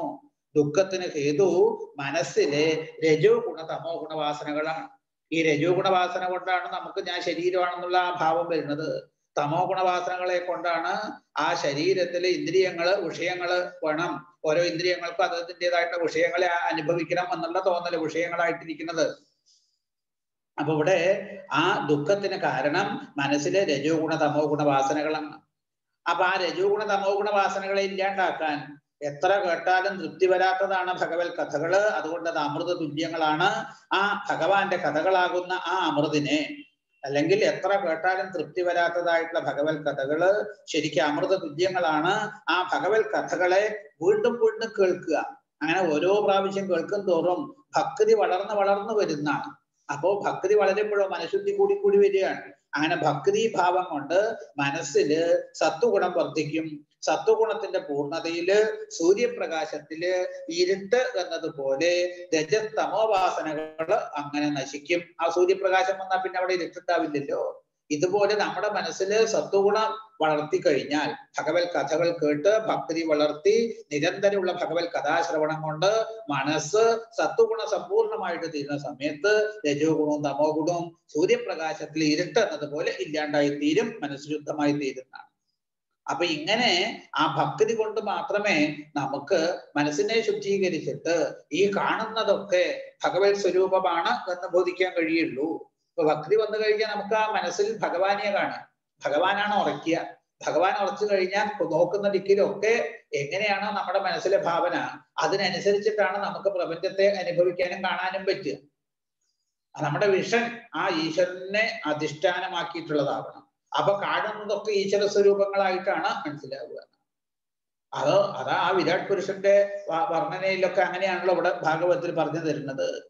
അപ്പൊ ഈ ഒരു ഭാവങ്ങൾ കൊണ്ട് നമുക്ക് ഇതൊക്കെ ഈശ്വരനാണ് എന്ന് ബോധിക്കാൻ കഴിയും. ബ്രഹ്മം തന്നെയാണ് ജഗത്തായിട്ട് പ്രതിഭാസിക്കുന്നത് എന്ന് ഭക്തി കൊണ്ട് കർമ്മവാസനകളൊക്കെ നശിച്ച് മനസ്സ് ശുദ്ധമായി മനസ്സ് സത്വഗുണം കൊണ്ട് ഭഗവാനിൽ നിറയുന്ന മനസ്സ് സത്വഗുണം കൊണ്ട് പൂർണമാകുന്ന സമയത്ത് നമുക്ക് ആ തത്വത്തെ ബോധിക്കാൻ കഴിയുന്നതാണ് ആ ശ്ലോകം കൊണ്ട് ബോധിപ്പിക്കുന്നത് എന്നാണ്. അത് കഴിഞ്ഞ് പിന്നെ പറയ അപ്പൊ ആ അതിനു വേണ്ടിയിട്ട് കിട്ടിയതാണ് നമുക്ക് ഈ മനുഷ്യജന്മം. ഏത്? ആ കാണുന്നതൊക്കെ ഈശ്വരനാണ്. ഈ ഈശ്വരന്റെ സ്വരൂപാന്തരങ്ങളാണ് പ്രപഞ്ചം ആ പ്രപഞ്ച രൂപത്തിൽ അല്ലെങ്കിൽ പ്രപഞ്ചത്തിലെ സകല ജീവജാലങ്ങളും എന്ന് മനസ്സിലാക്കി ആ ഈശ്വരനെ തന്നിൽ താനായിട്ട് അനുഭവിക്കുക. അപ്പൊ തന്റെ ഉള്ളിലുള്ള ഈശ്വരനും പ്രപഞ്ചാകാരേണ വളങ്ങുന്ന ആ ഭഗവാനും തമ്മിൽ വ്യത്യാസമൊന്നുമില്ല. അപ്പൊ അത് തന്നെയാണ് താൻ അല്ലേ ആ കാണ അതായത് ആ എല്ലാവരുടെ ഉള്ളിലും ചൈതന്യ സ്വരൂപത്തിൽ നാമരൂപങ്ങൾക്കൊക്കെ അതീതമായിട്ട് വളങ്ങുന്നതായ ആ ചൈതന്യം പരമാത്മഭാവം അതാണ് എന്റെ സ്വരൂപം എന്ന് ബോധിക്കണമെങ്കിൽ ബോധിക്കണം എന്നാണ് അപ്പൊ ആ അതിനു വേണ്ടിയിട്ടാണ് നമുക്ക് ഈ നമ്മുടെ ഈ മനുഷ്യജന്മം നമുക്ക് കിട്ടിയിരിക്കുന്നത്. മനുഷ്യജന്മം കൊണ്ട് മാത്രമേ ഇങ്ങനെ ഭഗവത് കഥകൾ കേൾക്കാനും ആ ഭക്തന്മാരെ ആശ്രയിക്കാനും ഭഗവത് കഥകൾ കേൾക്കാനും കേട്ടതിനെ വേണ്ടതുപോലെ മനനം ചെയ്ത് ഉറപ്പിച്ച് ആ അനുഭവത്തിലേക്ക് എത്താനും മനുഷ്യ ശരീരം കൊണ്ട് മാത്രമേ സാധിക്കുള്ളൂ. വേറെ ഒരു ശരീരം കിട്ടിയാലും പറ്റില്ല. അപ്പൊ മനുഷ്യ ശരീരം തന്നതിന്റെ ഉദ്ദേശം എന്താണ്? അല്ലെ നേരത്തെ പഞ്ചമസ്കന്ധത്തിൽ ഋഷഭദേവൻ പറഞ്ഞതുപോലെ ഈ ശബ്ദ സ്പർശ രൂപരസ ഗന്ധങ്ങളാകുന്ന അഞ്ച് വിഷയങ്ങൾ അനുഭവിച്ച് തൊലച്ചു കളയാനുള്ളതല്ല ഈ മനുഷ്യജന്മം പിന്നെ എന്തിനു വേണ്ടിയിട്ടാണ് തപോ ദിവ്യം പുത്രകാൽ തപസ് ചെയ്യാനുള്ളതാണ് തപസ് കൊണ്ട് മനസ്സും ശരീരവും ഇന്ദ്രിയങ്ങളൊക്കെ ശുദ്ധമാകുമ്പോ എല്ലാവർക്കും ആ എല്ലാവരിലും അന്തര്യാമിയായിട്ട് പ്രകാശിക്കുന്നത് ഈശ്വരനാണ് എന്ന് ബോധിക്കാൻ വേണ്ടിയിട്ട്. ഇന്ദ്രിയ മനോബുദ്ധികൾ അന്തർമുഖമായി തീരുമ്പോ നമ്മുടെ ഉള്ളിൽ തന്നെ ആത്മസ്വരൂപത്തിൽ വളങ്ങുന്ന ഈശ്വരനെ അനുഭവിക്കാൻ കഴിയും. അത് മനുഷ്യശരീരം കൊണ്ടേ പറ്റുള്ളൂ. അപ്പൊ അതാണ് ഇനി അടുത്ത ശ്ലോകത്തിൽ പറയുന്നത് ഹൃദയ ഇവ ശ്വസന്ധ്യ സുഹൃദോ യതി തേനവിധ പുരുഷവിദോന്യയോത്ര ചരമോന്നമയാതിഷുയ സദസതപരം ത്വമത യഥേ യഥേക്ഷവശേഷമൃതം ഇപ്പോ ഈ നമ്മുടെ ഉള്ളിൽ ദുഃഖത്തിന് കാരണമായിട്ടുള്ള രജോ ഗുണ തമോ ഗുണവാസനകൾ ഭക്തി കൊണ്ട് സമ്പൂർണമായിട്ട് നശിക്കും എന്നാണ് ഇവിടെ പറഞ്ഞത്. അപ്പൊ ഭക്തി കൊണ്ട് ഈ പറഞ്ഞതുപോലെ ആ ദുഃഖത്തിന് കാരണമായിട്ടുള്ള വാസനകൾ ഭക്തി കൊണ്ട് സമ്പൂർണമായിട്ട് നശിക്കുന്ന സ്ഥിതിക്ക് കാലത്തിന്റെ വികാരങ്ങളായിട്ടുള്ള ജര മൃത്യുക്കൾ ജരയും മൃത്യുവും അതുപോലെ മനസ്സിന്റെ മാലിന്യങ്ങളായിട്ട് രാഗദ്വേഷാദികൾ ആ അപ്പോ ഈ അതായത് കാലത്തിന്റെ വികാരങ്ങളായിട്ടുള്ള ജരാമൃത്യുക്കളെയും മനസ്സിന്റെ മാലിന്യങ്ങളായിട്ടുള്ള രാഗദ്വേഷങ്ങളെയും അകറ്റിക്കൊണ്ട് മുറിവില്ലാത്ത ആനന്ദ സ്വരൂപമായിട്ടുള്ള പരമാത്മതത്വത്തെ ഉപാസിക്കുന്നവരുടെ ദുഃഖം നശിക്കും എന്ന് പ്രത്യേകം പറയേണ്ട കാര്യമില്ല. ഭക്തി കൊണ്ട് എല്ലാ ദുഃഖങ്ങളും നശിക്കും എന്ന സ്ഥിതിക്ക് ശരിക്ക് ആ അതിനെയൊക്കെ ഉയർന്ന കാലാ കാലത്തിന്റെ ഭാവങ്ങളെ കാലത്തെയൊക്കെ ജയിച്ച് അതുപോലെ മനസ്സിനെ ശുദ്ധീകരിച്ചതിൽ രാഗദ്വേഷങ്ങളെയൊക്കെ അകറ്റി എപ്പോഴും ആനന്ദ സ്വരൂപമായിട്ടുള്ള പരമാത്മ തത്വത്തെ കാരണം ഭക്തി കൊണ്ട് നമ്മൾ ഭഗവത് തത്വത്തെയാണ് ഉപാസിക്കുക അല്ലെ? ആദ്യമൊക്കെ സഗുണഭാവത്തിലുള്ള ഭാവത്തിലാണ് വരിക. അതിന്നൊക്കെ ഉയർന്ന് ആ വന്ന ആളുകൾ ശരിക്കും നിർഗുണ ഭാവത്തെ ഉപാസിക്കും. അങ്ങനെയുള്ള ആളുകളുടെ ഭക്തി കൊണ്ട് തന്നെ ആ എല്ലാ ദുഃഖവും നശിക്കുന്ന സ്ഥിതിക്ക് ഈ നിർഗുണോപാസകന്മാരായിട്ടുള്ള ആളുകൾ അല്ലെങ്കിൽ യോഗ ശ്രേഷ്ഠന്മാരായിട്ടുള്ള മഹാത്മാക്കൾ മനസ്സിനെയും അപ്പോൾ ശരീരത്തെയും ജയിച്ചുകൊണ്ട് ഭഗവാനെ ആശ്രയിക്കുന്നു. അപ്പോ അങ്ങനെയുള്ളവരുടെ ദുഃഖം നശിക്കുന്ന പ്രത്യേകം പറയേണ്ടതായിട്ടില്ലല്ലോ. അപ്പൊ ജരയും മരണവും ഒക്കെ ശരീരത്തിനാണ് എന്നും രാഗദ്വേഷങ്ങൾ മനസ്സിനാണ് എന്നും ബോധിച്ച് ശരീരത്തിനും മനസ്സിനും സാക്ഷിയായിട്ടുള്ള ആത്മാവാണ് താനെന്ന് നിരന്തരമായിട്ട് വിചാരം ചെയ്തുകൊണ്ടിരുന്നാൽ മനസ്സ് ശരിക്ക് തിരമാല സമുദ്രത്തിൽ എന്നതുപോലെ ആത്മസ്വരൂപത്തിൽ മനസ്സിലയിച്ച് ഒന്നായിട്ട് തീരും. മനസ്സില്ലാതായാലോ പിന്നെ ദുഃഖം ഉണ്ടാവില്ല. ഭക്തി കൊണ്ട് രജോ ഗുണവാസനകളും തമോ ഗുണവാസനകളും നശിച്ചാൽ തന്നെ ദുഃഖം ഇല്ലാണ്ടായി തീരും എന്ന നിലയ്ക്ക് ദുഃഖത്തിന് മൂലകാരണമായിട്ടുള്ള അജ്ഞാനം തന്നെ ജ്ഞാനം കൊണ്ട് നശിപ്പിച്ചു കഴിഞ്ഞാൽ പിന്നെ എങ്ങനെ ദുഃഖം ഉണ്ടാവാനാണ് എന്നാണ് പിന്നെയുള്ള ശ്ലോകം കൊണ്ട് പറയുന്നത് എന്നാണ്. അപ്പോ ആ അജ്ഞാനത്തെ നശിപ്പിച്ചാൽ അജ്ഞാനം കൊണ്ട് ശരീരബോധത്തിൽ നിന്ന് നമുക്ക് നിവർത്തിക്കാൻ പറ്റും. ആ ശരീരാഭിമാനം നീങ്ങിയാലോ? പിന്നെ ആൾക്ക് ദുഃഖമില്ല. കാരണം ഞാൻ ശരീരമല്ലല്ലോ. ആ ശരീരത്തിനാണ് വന്ന ദുഃഖം. ആ ശരീരം എന്റെയാണ് ഞാനല്ല. ആ മനസ്സ് മനസ്സിലെ ഭാവങ്ങൾ ആ മനസ്സ് എന്റെയാണ് ഞാനല്ല. അപ്പൊ ഇതിനൊക്കെ അതീതനാണ് ഞാൻ എന്ന ആ ഭാവം വരുന്നതാണ്. അപ്പൊ പിന്നെ അയാൾക്ക് ദുഃഖം എന്നുള്ള അവസ്ഥയില്ല പരമാനന്ദം മാത്രമേ ആ അദ്ദേഹത്തിന്റെ ഭാവത്തിലുള്ളൂ എന്ന് കാണിച്ചു തരിക. അപ്പൊ ഇവിടെ ആ തരത്തിൽ ആണ് ആ ഹൃദയ അതായത് ഇതി തവ സൂരയ സ്തുതിപദേ അഖില ലോകമല ക്ഷമണ കഥാമൃതാബ്ദിം അവഗാഹ്യ തപാംസി ജഹു. കിമുത പുനഃസ്വധാമ വിദുദാശയ കാലഗുണ പരമ പരമ ഭജന്തിയെ പദമജസ്വ സുഖാനുഭവം. ഇവിടെ ഭഗ ഈ സകല ലോകങ്ങളിൽ വെച്ച് ആ സകല ലോകങ്ങളെയും ആ അതായത് ഭഗവാൻ ശരിക്ക് ഈ ത്രിഗുണങ്ങളുടെയൊക്കെ അധിപതിയാണ്. ഭഗവാനാണ് തന്റെ മായ കൊണ്ട് ഈ പ്രപഞ്ചത്തെ സൃഷ്ടിച്ചത് എന്നാണ്. അപ്പോ ആ വിവേകികളായിട്ടുള്ള വിദ്വാൻമാര് സകല ലോകങ്ങളുടെയും പാപത്തെ നശിപ്പിക്കുന്ന ഭഗവാന്റെ കഥാമൃതത്തെ സേവിച്ചുകൊണ്ട് ശരിക്ക് ഭഗവത് കഥകളാകുന്ന അമൃത വൃത്രാസുരൻ പറഞ്ഞില്ലേ? ആ ഇന്ദ്രനോട് പറഞ്ഞു എന്താ പറഞ്ഞത്? ഇന്ദ്രൻ വൃത്രാസുരനോട് പറഞ്ഞതാ അതെ ഭക്തിയാകുന്ന അമൃത സമുദ്രത്തിൽ മുങ്ങി കളി കുളിക്കുന്ന നിനക്ക് ത്രൈലോക്യത്തിന്റെ ആധിപത്യമൊക്കെ ഇത്ര തുച്ഛമായിട്ട് തോന്നിയതിൽ വലിയ ആശ്ചര്യമില്ല എന്നാണ് വൃത്രാസുരനോട് ഇന്ദ്രൻ പറയണത്. അപ്പൊ ഭക്തിയുടെ മുമ്പിൽ ബാക്കിയൊക്കെ നിസ്സാരമാണെന്ന് കാണിച്ചു തരികയാണ്. അപ്പൊ ആ ഭക്തി കൊണ്ട് തന്നെ സകലവിധ ദോഷങ്ങളും ദുഃഖങ്ങളും ജീവനിൽ ഇല്ലാണ്ടാവും. അപ്പൊ പിന്നെ ശരിക്ക് ആ മനസ്സിനെ അടക്കി ആ ആത്മനിഷ്ഠന്മാരായിട്ടുള്ള ആളുകളെ ആളുകൾ ശരിക്ക് ആ ഭഗവാനെ ആശ്രയിക്കുന്നതോട് കൂടിയിട്ട് അവരുടെ സകലവിധ ക്ലേശങ്ങൾ നശിക്കും എന്നതിന് പ്രത്യേകം പറയേണ്ട കാര്യമില്ല. അതാണ് നേരത്തെ പറഞ്ഞത്. അവന് ആ ദുഃഖകാരണമായിട്ടുള്ള വാസനകളൊക്കെ ഭക്തി കൊണ്ട് സമ്പൂർണമായിട്ട് നശിക്കുകയാണ്. അപ്പോ ആ നിലയ്ക്ക് ഇപ്പോ ആ ശരീരത്തിന്റെ മനസ്സിന്റെയും ഭാവങ്ങൾ അതൊന്നും നമ്മളെ ബാധിക്കില്ല. അല്ലേ? ആ മനസ്സിനും ശരീരത്തിനും സാക്ഷിയായിട്ടുള്ള ആത്മാവാണ് താൻ എന്ന് നമ്മൾ വിചാരം ചെയ്ത് ബോധിച്ചു കഴിഞ്ഞാൽ പിന്നെ അയാൾക്ക് പിന്നെ എപ്പോഴും ദുഃഖമില്ലാത്ത ഒരവസ്ഥ തന്നെയാണ് എത്താനായിക്കൊണ്ട് പോണത് എന്നാണ്. അത് കഴിഞ്ഞ് പിന്നെ പറയുകയാണ് ധൃതയ ഇവ ശ്വസന്ധ്യ സുഹൃതോ യതി തേന വിധ മഹതഹമാണ്ട് മഹതഹമാതയോണ്ട വസൃജൻ യദനുഗ്രഹത പുരുഷവിധോന്വയോത്ര ചരമോന്നമയ ആദിഷിയ സദസതപരം ത്വമത യഥേഷ അവശേഷമൃതം. അപ്പൊ ഇവിടെ ആദ്യത്തെ ആ- ഈ പറഞ്ഞത് ചെറിയൊരു വ്യത്യാസം വന്നു. ആദ്യത്തെ ശ്ലോകം പറയേണ്ട പോലെ രണ്ടാമത്തെ ശ്ലോകം പറഞ്ഞു. അതായാലും ഇവിടെ പറയും ഈ മനുഷ്യ ശരീരം. അപ്പോ ഈ ആ താൻ ആത്മാവാണ് എന്ന അനുഭവത്തിന് വേണ്ടിയിട്ട് കിട്ടിയതാ. അതായത് മഹത്തത്വം അഹങ്കാരം പഞ്ചഭൂതങ്ങൾ എന്നിവയ്ക്ക് ഈ ബ്രഹ്മാണ്ടത്തെ ഈ സൃഷ്ടിക്കാൻ കഴിഞ്ഞ കഴിഞ്ഞത് പരമാത്മാവായിട്ടുള്ള ഭഗവാന്റെ അനുഗ്രഹത്തെ അനുഗ്രഹം കൊണ്ടാ. അപ്പൊ ഈ സൃഷ്ടിയുടെ ആദ്യത്തെ കഥയൊക്കെ പറയുമ്പോ അങ്ങനെയാ പറയുക. ഭഗവാനിൽ നിന്ന് ഈ മായി ഉണ്ടായി. ആ മായിയിൽ നിന്ന് ആദ്യം മഹത്തത്വം പിന്നെ അഹങ്കാരം പിന്നെ ആ പഞ്ചഭൂതങ്ങൾ അങ്ങനെ അത് അതിനെ കൊണ്ടൊക്കെയാണ് ബ്രഹ്മാണ്ടത്തിന്റെ സൃഷ്ടി. ഇരുപത്തിനാല് തത്വങ്ങളെ കൊണ്ടാണ് ബ്രഹ്മാണ്ടം സൃഷ്ടിക്കപ്പെട്ടത് എന്നൊക്കെ നമ്മൾ നേരത്തെ ഒന്ന് അനുസ്മരിച്ചതാണ്. അത് ഈ ബ്രഹ്മാണ്ടത്തെ സൃഷ്ടിക്കാൻ കഴിഞ്ഞത് എങ്ങനെയാ? പരമാത്മാവായിട്ടുള്ള ഭഗവാന്റെ അനുഗ്രഹം കൊണ്ടാണ്. അങ്ങനെയുള്ള ഭഗവാനെ ഭജിക്കുന്നവരുടെ ജന്മം മാത്രമാണ് ശരിക്കു പറഞ്ഞാൽ സഫലമായിട്ട് തീരുന്നത്. അപ്പൊ മനുഷ്യജന്മം കിട്ടിയിരിക്കുന്നത് എന്തിനു വേണ്ടിയിട്ടാണ്? ആ ഭഗവാനെ ആശ്രയിക്കാൻ. നേരത്തെ പറഞ്ഞില്ലേ ആ ഋഷഭദേവൻ പറഞ്ഞതുപോലെ തപസ് ചെയ്യാനാ. തന്റെ ഉള്ളിലുള്ള ആത്മാവിനെ അറിയാൻ വേണ്ടിയിട്ടാണ് ഈ മനുഷ്യജന്മം നമുക്ക് കിട്ടിയിരിക്കുന്നത്. അപ്പൊ അങ്ങനെയുള്ള ഭഗവാനെ ഭജിക്കുന്നവരുടെ ജന്മം മാത്രമാണ് സഫലമായിട്ട് തീരുക ഈശ്വര ഭജനം ചെയ്യാത്ത ആളുകൾ മനുഷ്യജന്മം ഈശ്വരനെ പ്രാപിക്കാനുള്ളതാണ്. ആ നേരത്തെ പറഞ്ഞല്ലോ സംസാരം കടക്കാൻ പഴയ്ക്കാത്ത ഒരു തോണിയാണ് മനുഷ്യ ശരീരം അപ്പൊ അതിനെ ആ സംസാരം കടക്കാനായിട്ട് ഉപയോഗിക്കാത്തവൻ ശരി ശരിക്ക് ആത്മഹത്യക്കാരനാണ് എന്നാണ് ഏകാദശത്തിൽ പറയുന്നത് ഉദ്ധവനോട്.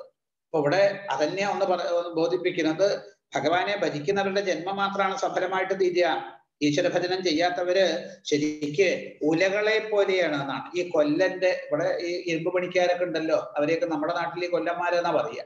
അപ്പൊ അവരുടെ ആ ആലയിൽ ഒരു ഒലി ഉണ്ടാകുന്ന അവരുടെ പണിസ്ഥലത്ത്.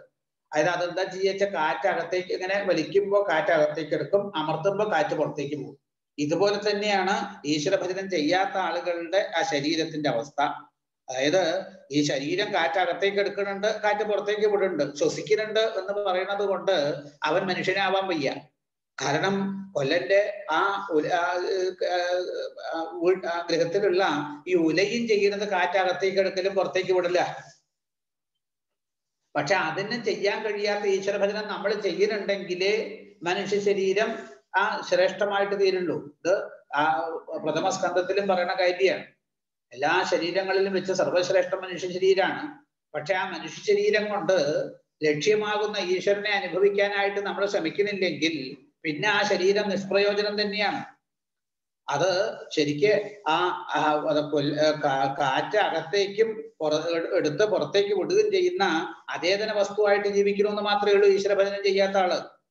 ഇവിടെ ആ അന്നമയം പ്രാണമയം മനോമയം വിജ്ഞാനമയം ആനന്ദമയം ഇങ്ങനെ ആത്മസ്വരൂപത്തെ മറച്ചിരിക്കുന്ന പഞ്ചകോശങ്ങളെ പറ്റി പറയുമ്പോൾ അവയെ ചൈതന്യവത്താക്കിക്കൊണ്ട് അവയിൽ നിന്ന് അന്യമായിട്ട് വളങ്ങുന്നു ആത്മാവ് എന്നാണ് ശാസ്ത്രങ്ങളൊക്കെ പറയുന്നത് അതുകൊണ്ടാണ് ലളിതാ സഹസ്രനാമത്തിൽ പഞ്ചകോശാന്തര സ്ഥിത പഞ്ചകോശങ്ങൾക്ക് അതീതമായിട്ട് വിളങ്ങുന്ന അല്ലെങ്കിൽ പഞ്ചകോശങ്ങളെ പ്രവർത്തിപ്പിച്ചുകൊണ്ടിരിക്കുന്ന അതിനെ ചൈതന്യവത്താക്കിക്കൊണ്ട് വിളങ്ങി അതിൽ നിന്ന് അന്യമായിട്ട് വിളങ്ങുന്ന ആ ആത്മാവ് ആത്മാവ് എന്നാണ്.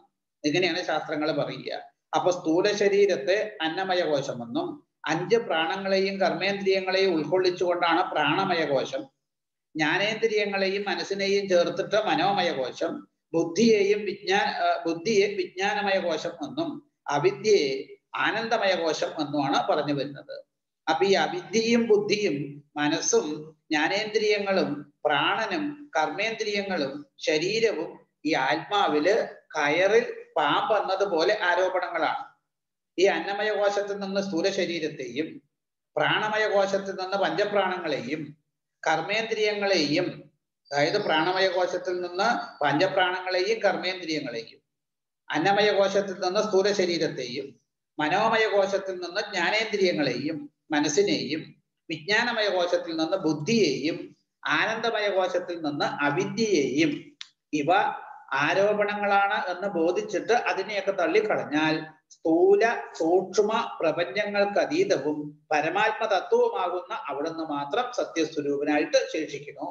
അപ്പൊ നമ്മുടെ ഉള്ളിലൊക്കെ പഞ്ചകോശങ്ങൾക്ക് അതീതനായിട്ട് അല്ലെങ്കിൽ പഞ്ചകോശങ്ങളെയൊക്കെ പ്രവർത്തിപ്പിച്ചുകൊണ്ട് ചൈതന്യവത്താക്കിക്കൊണ്ട് ആത്മാവ് വഴങ്ങിക്കൊണ്ടിരിക്കുക. അപ്പൊ ഈ ആത്മാവാണ് സത്യമായിട്ടുള്ള വസ്തു. അപ്പൊ ഈ ഓരോ കോശത്തിൽ നിന്നും ആ ആത്മാവിനെ അല്ലെങ്കിൽ ഓരോ കോശത്തെയും ചൈതന്യവത്താക്കി തീർത്ത് തീർത്ത് തീർക്കുന്നതായിട്ടുള്ള ആത്മാവിന്റെ ഭാവത്തെ നമ്മളൊന്ന് മാറ്റുക.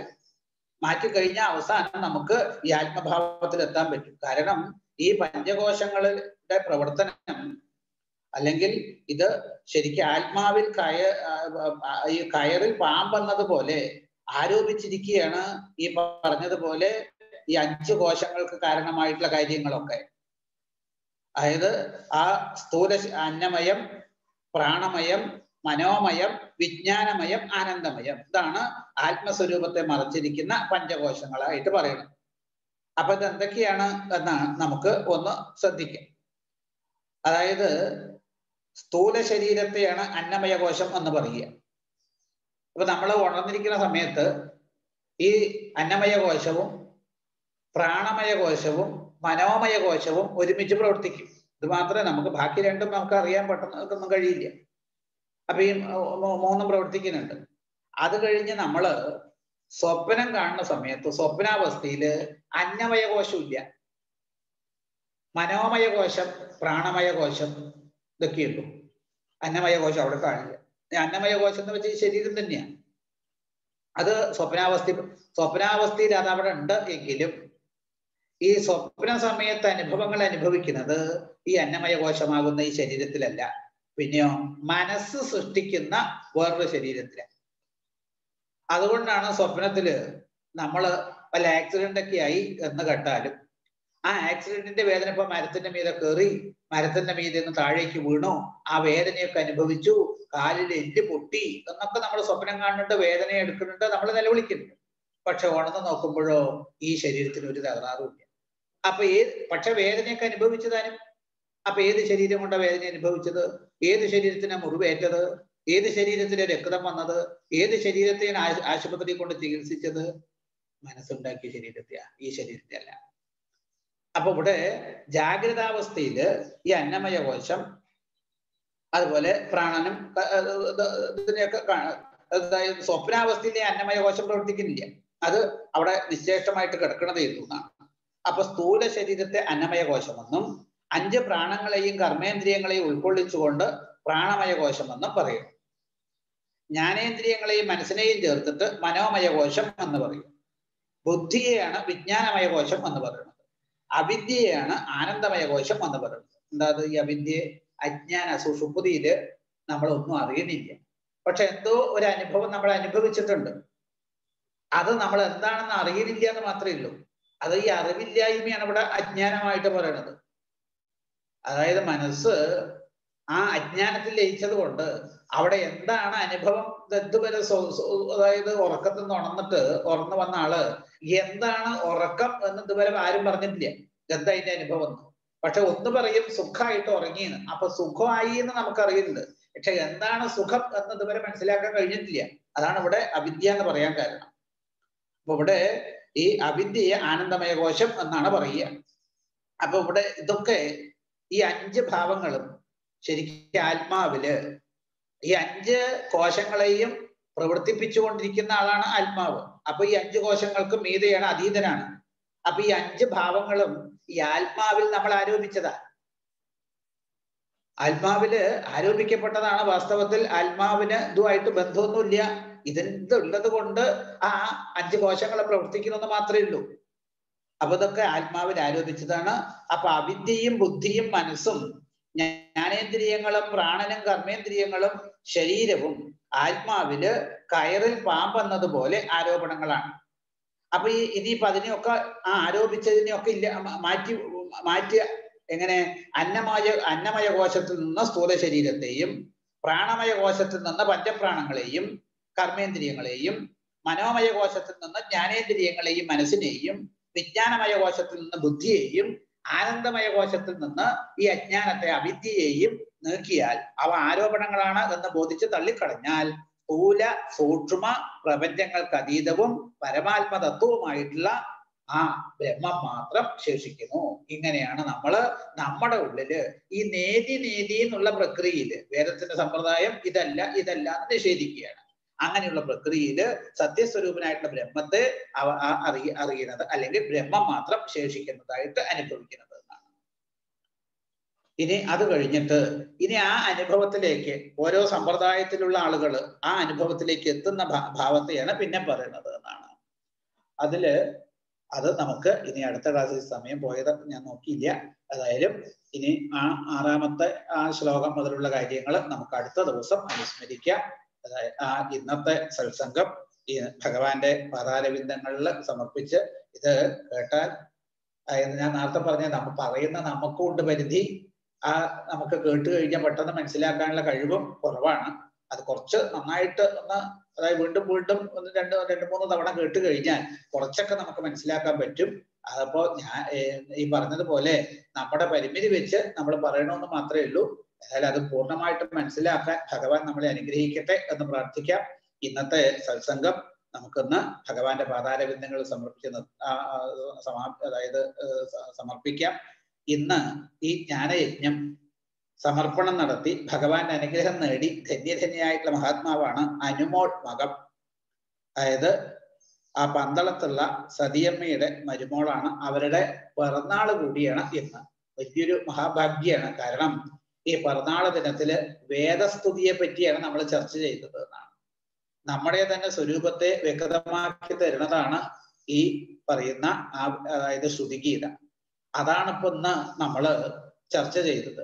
അപ്പോ ഇന്ന് ഈ സമർപ്പണം നടത്തിയത് പിറന്നാളിനോടനുബന്ധിച്ചിട്ടാണ് അനുമോൾ മകനക്ഷത്രക്കാരിയാണ് അവരുടെ പിറന്നാളാണ്.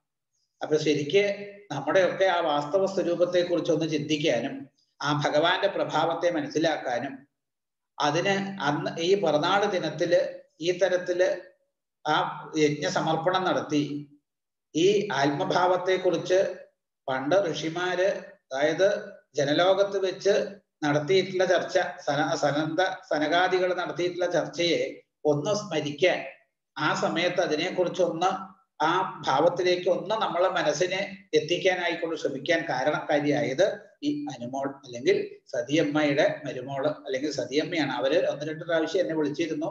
ഇന്ന് അത് ഇന്നത്തെ സമർപ്പണം വേണം എന്നൊക്കെ പറഞ്ഞ് അപ്പോ അദ്ദേഹം പരമേശ്വർജിയായിട്ട് ബന്ധപ്പെട്ടിട്ട് അവരത് സമർപ്പിച്ചതാണ്.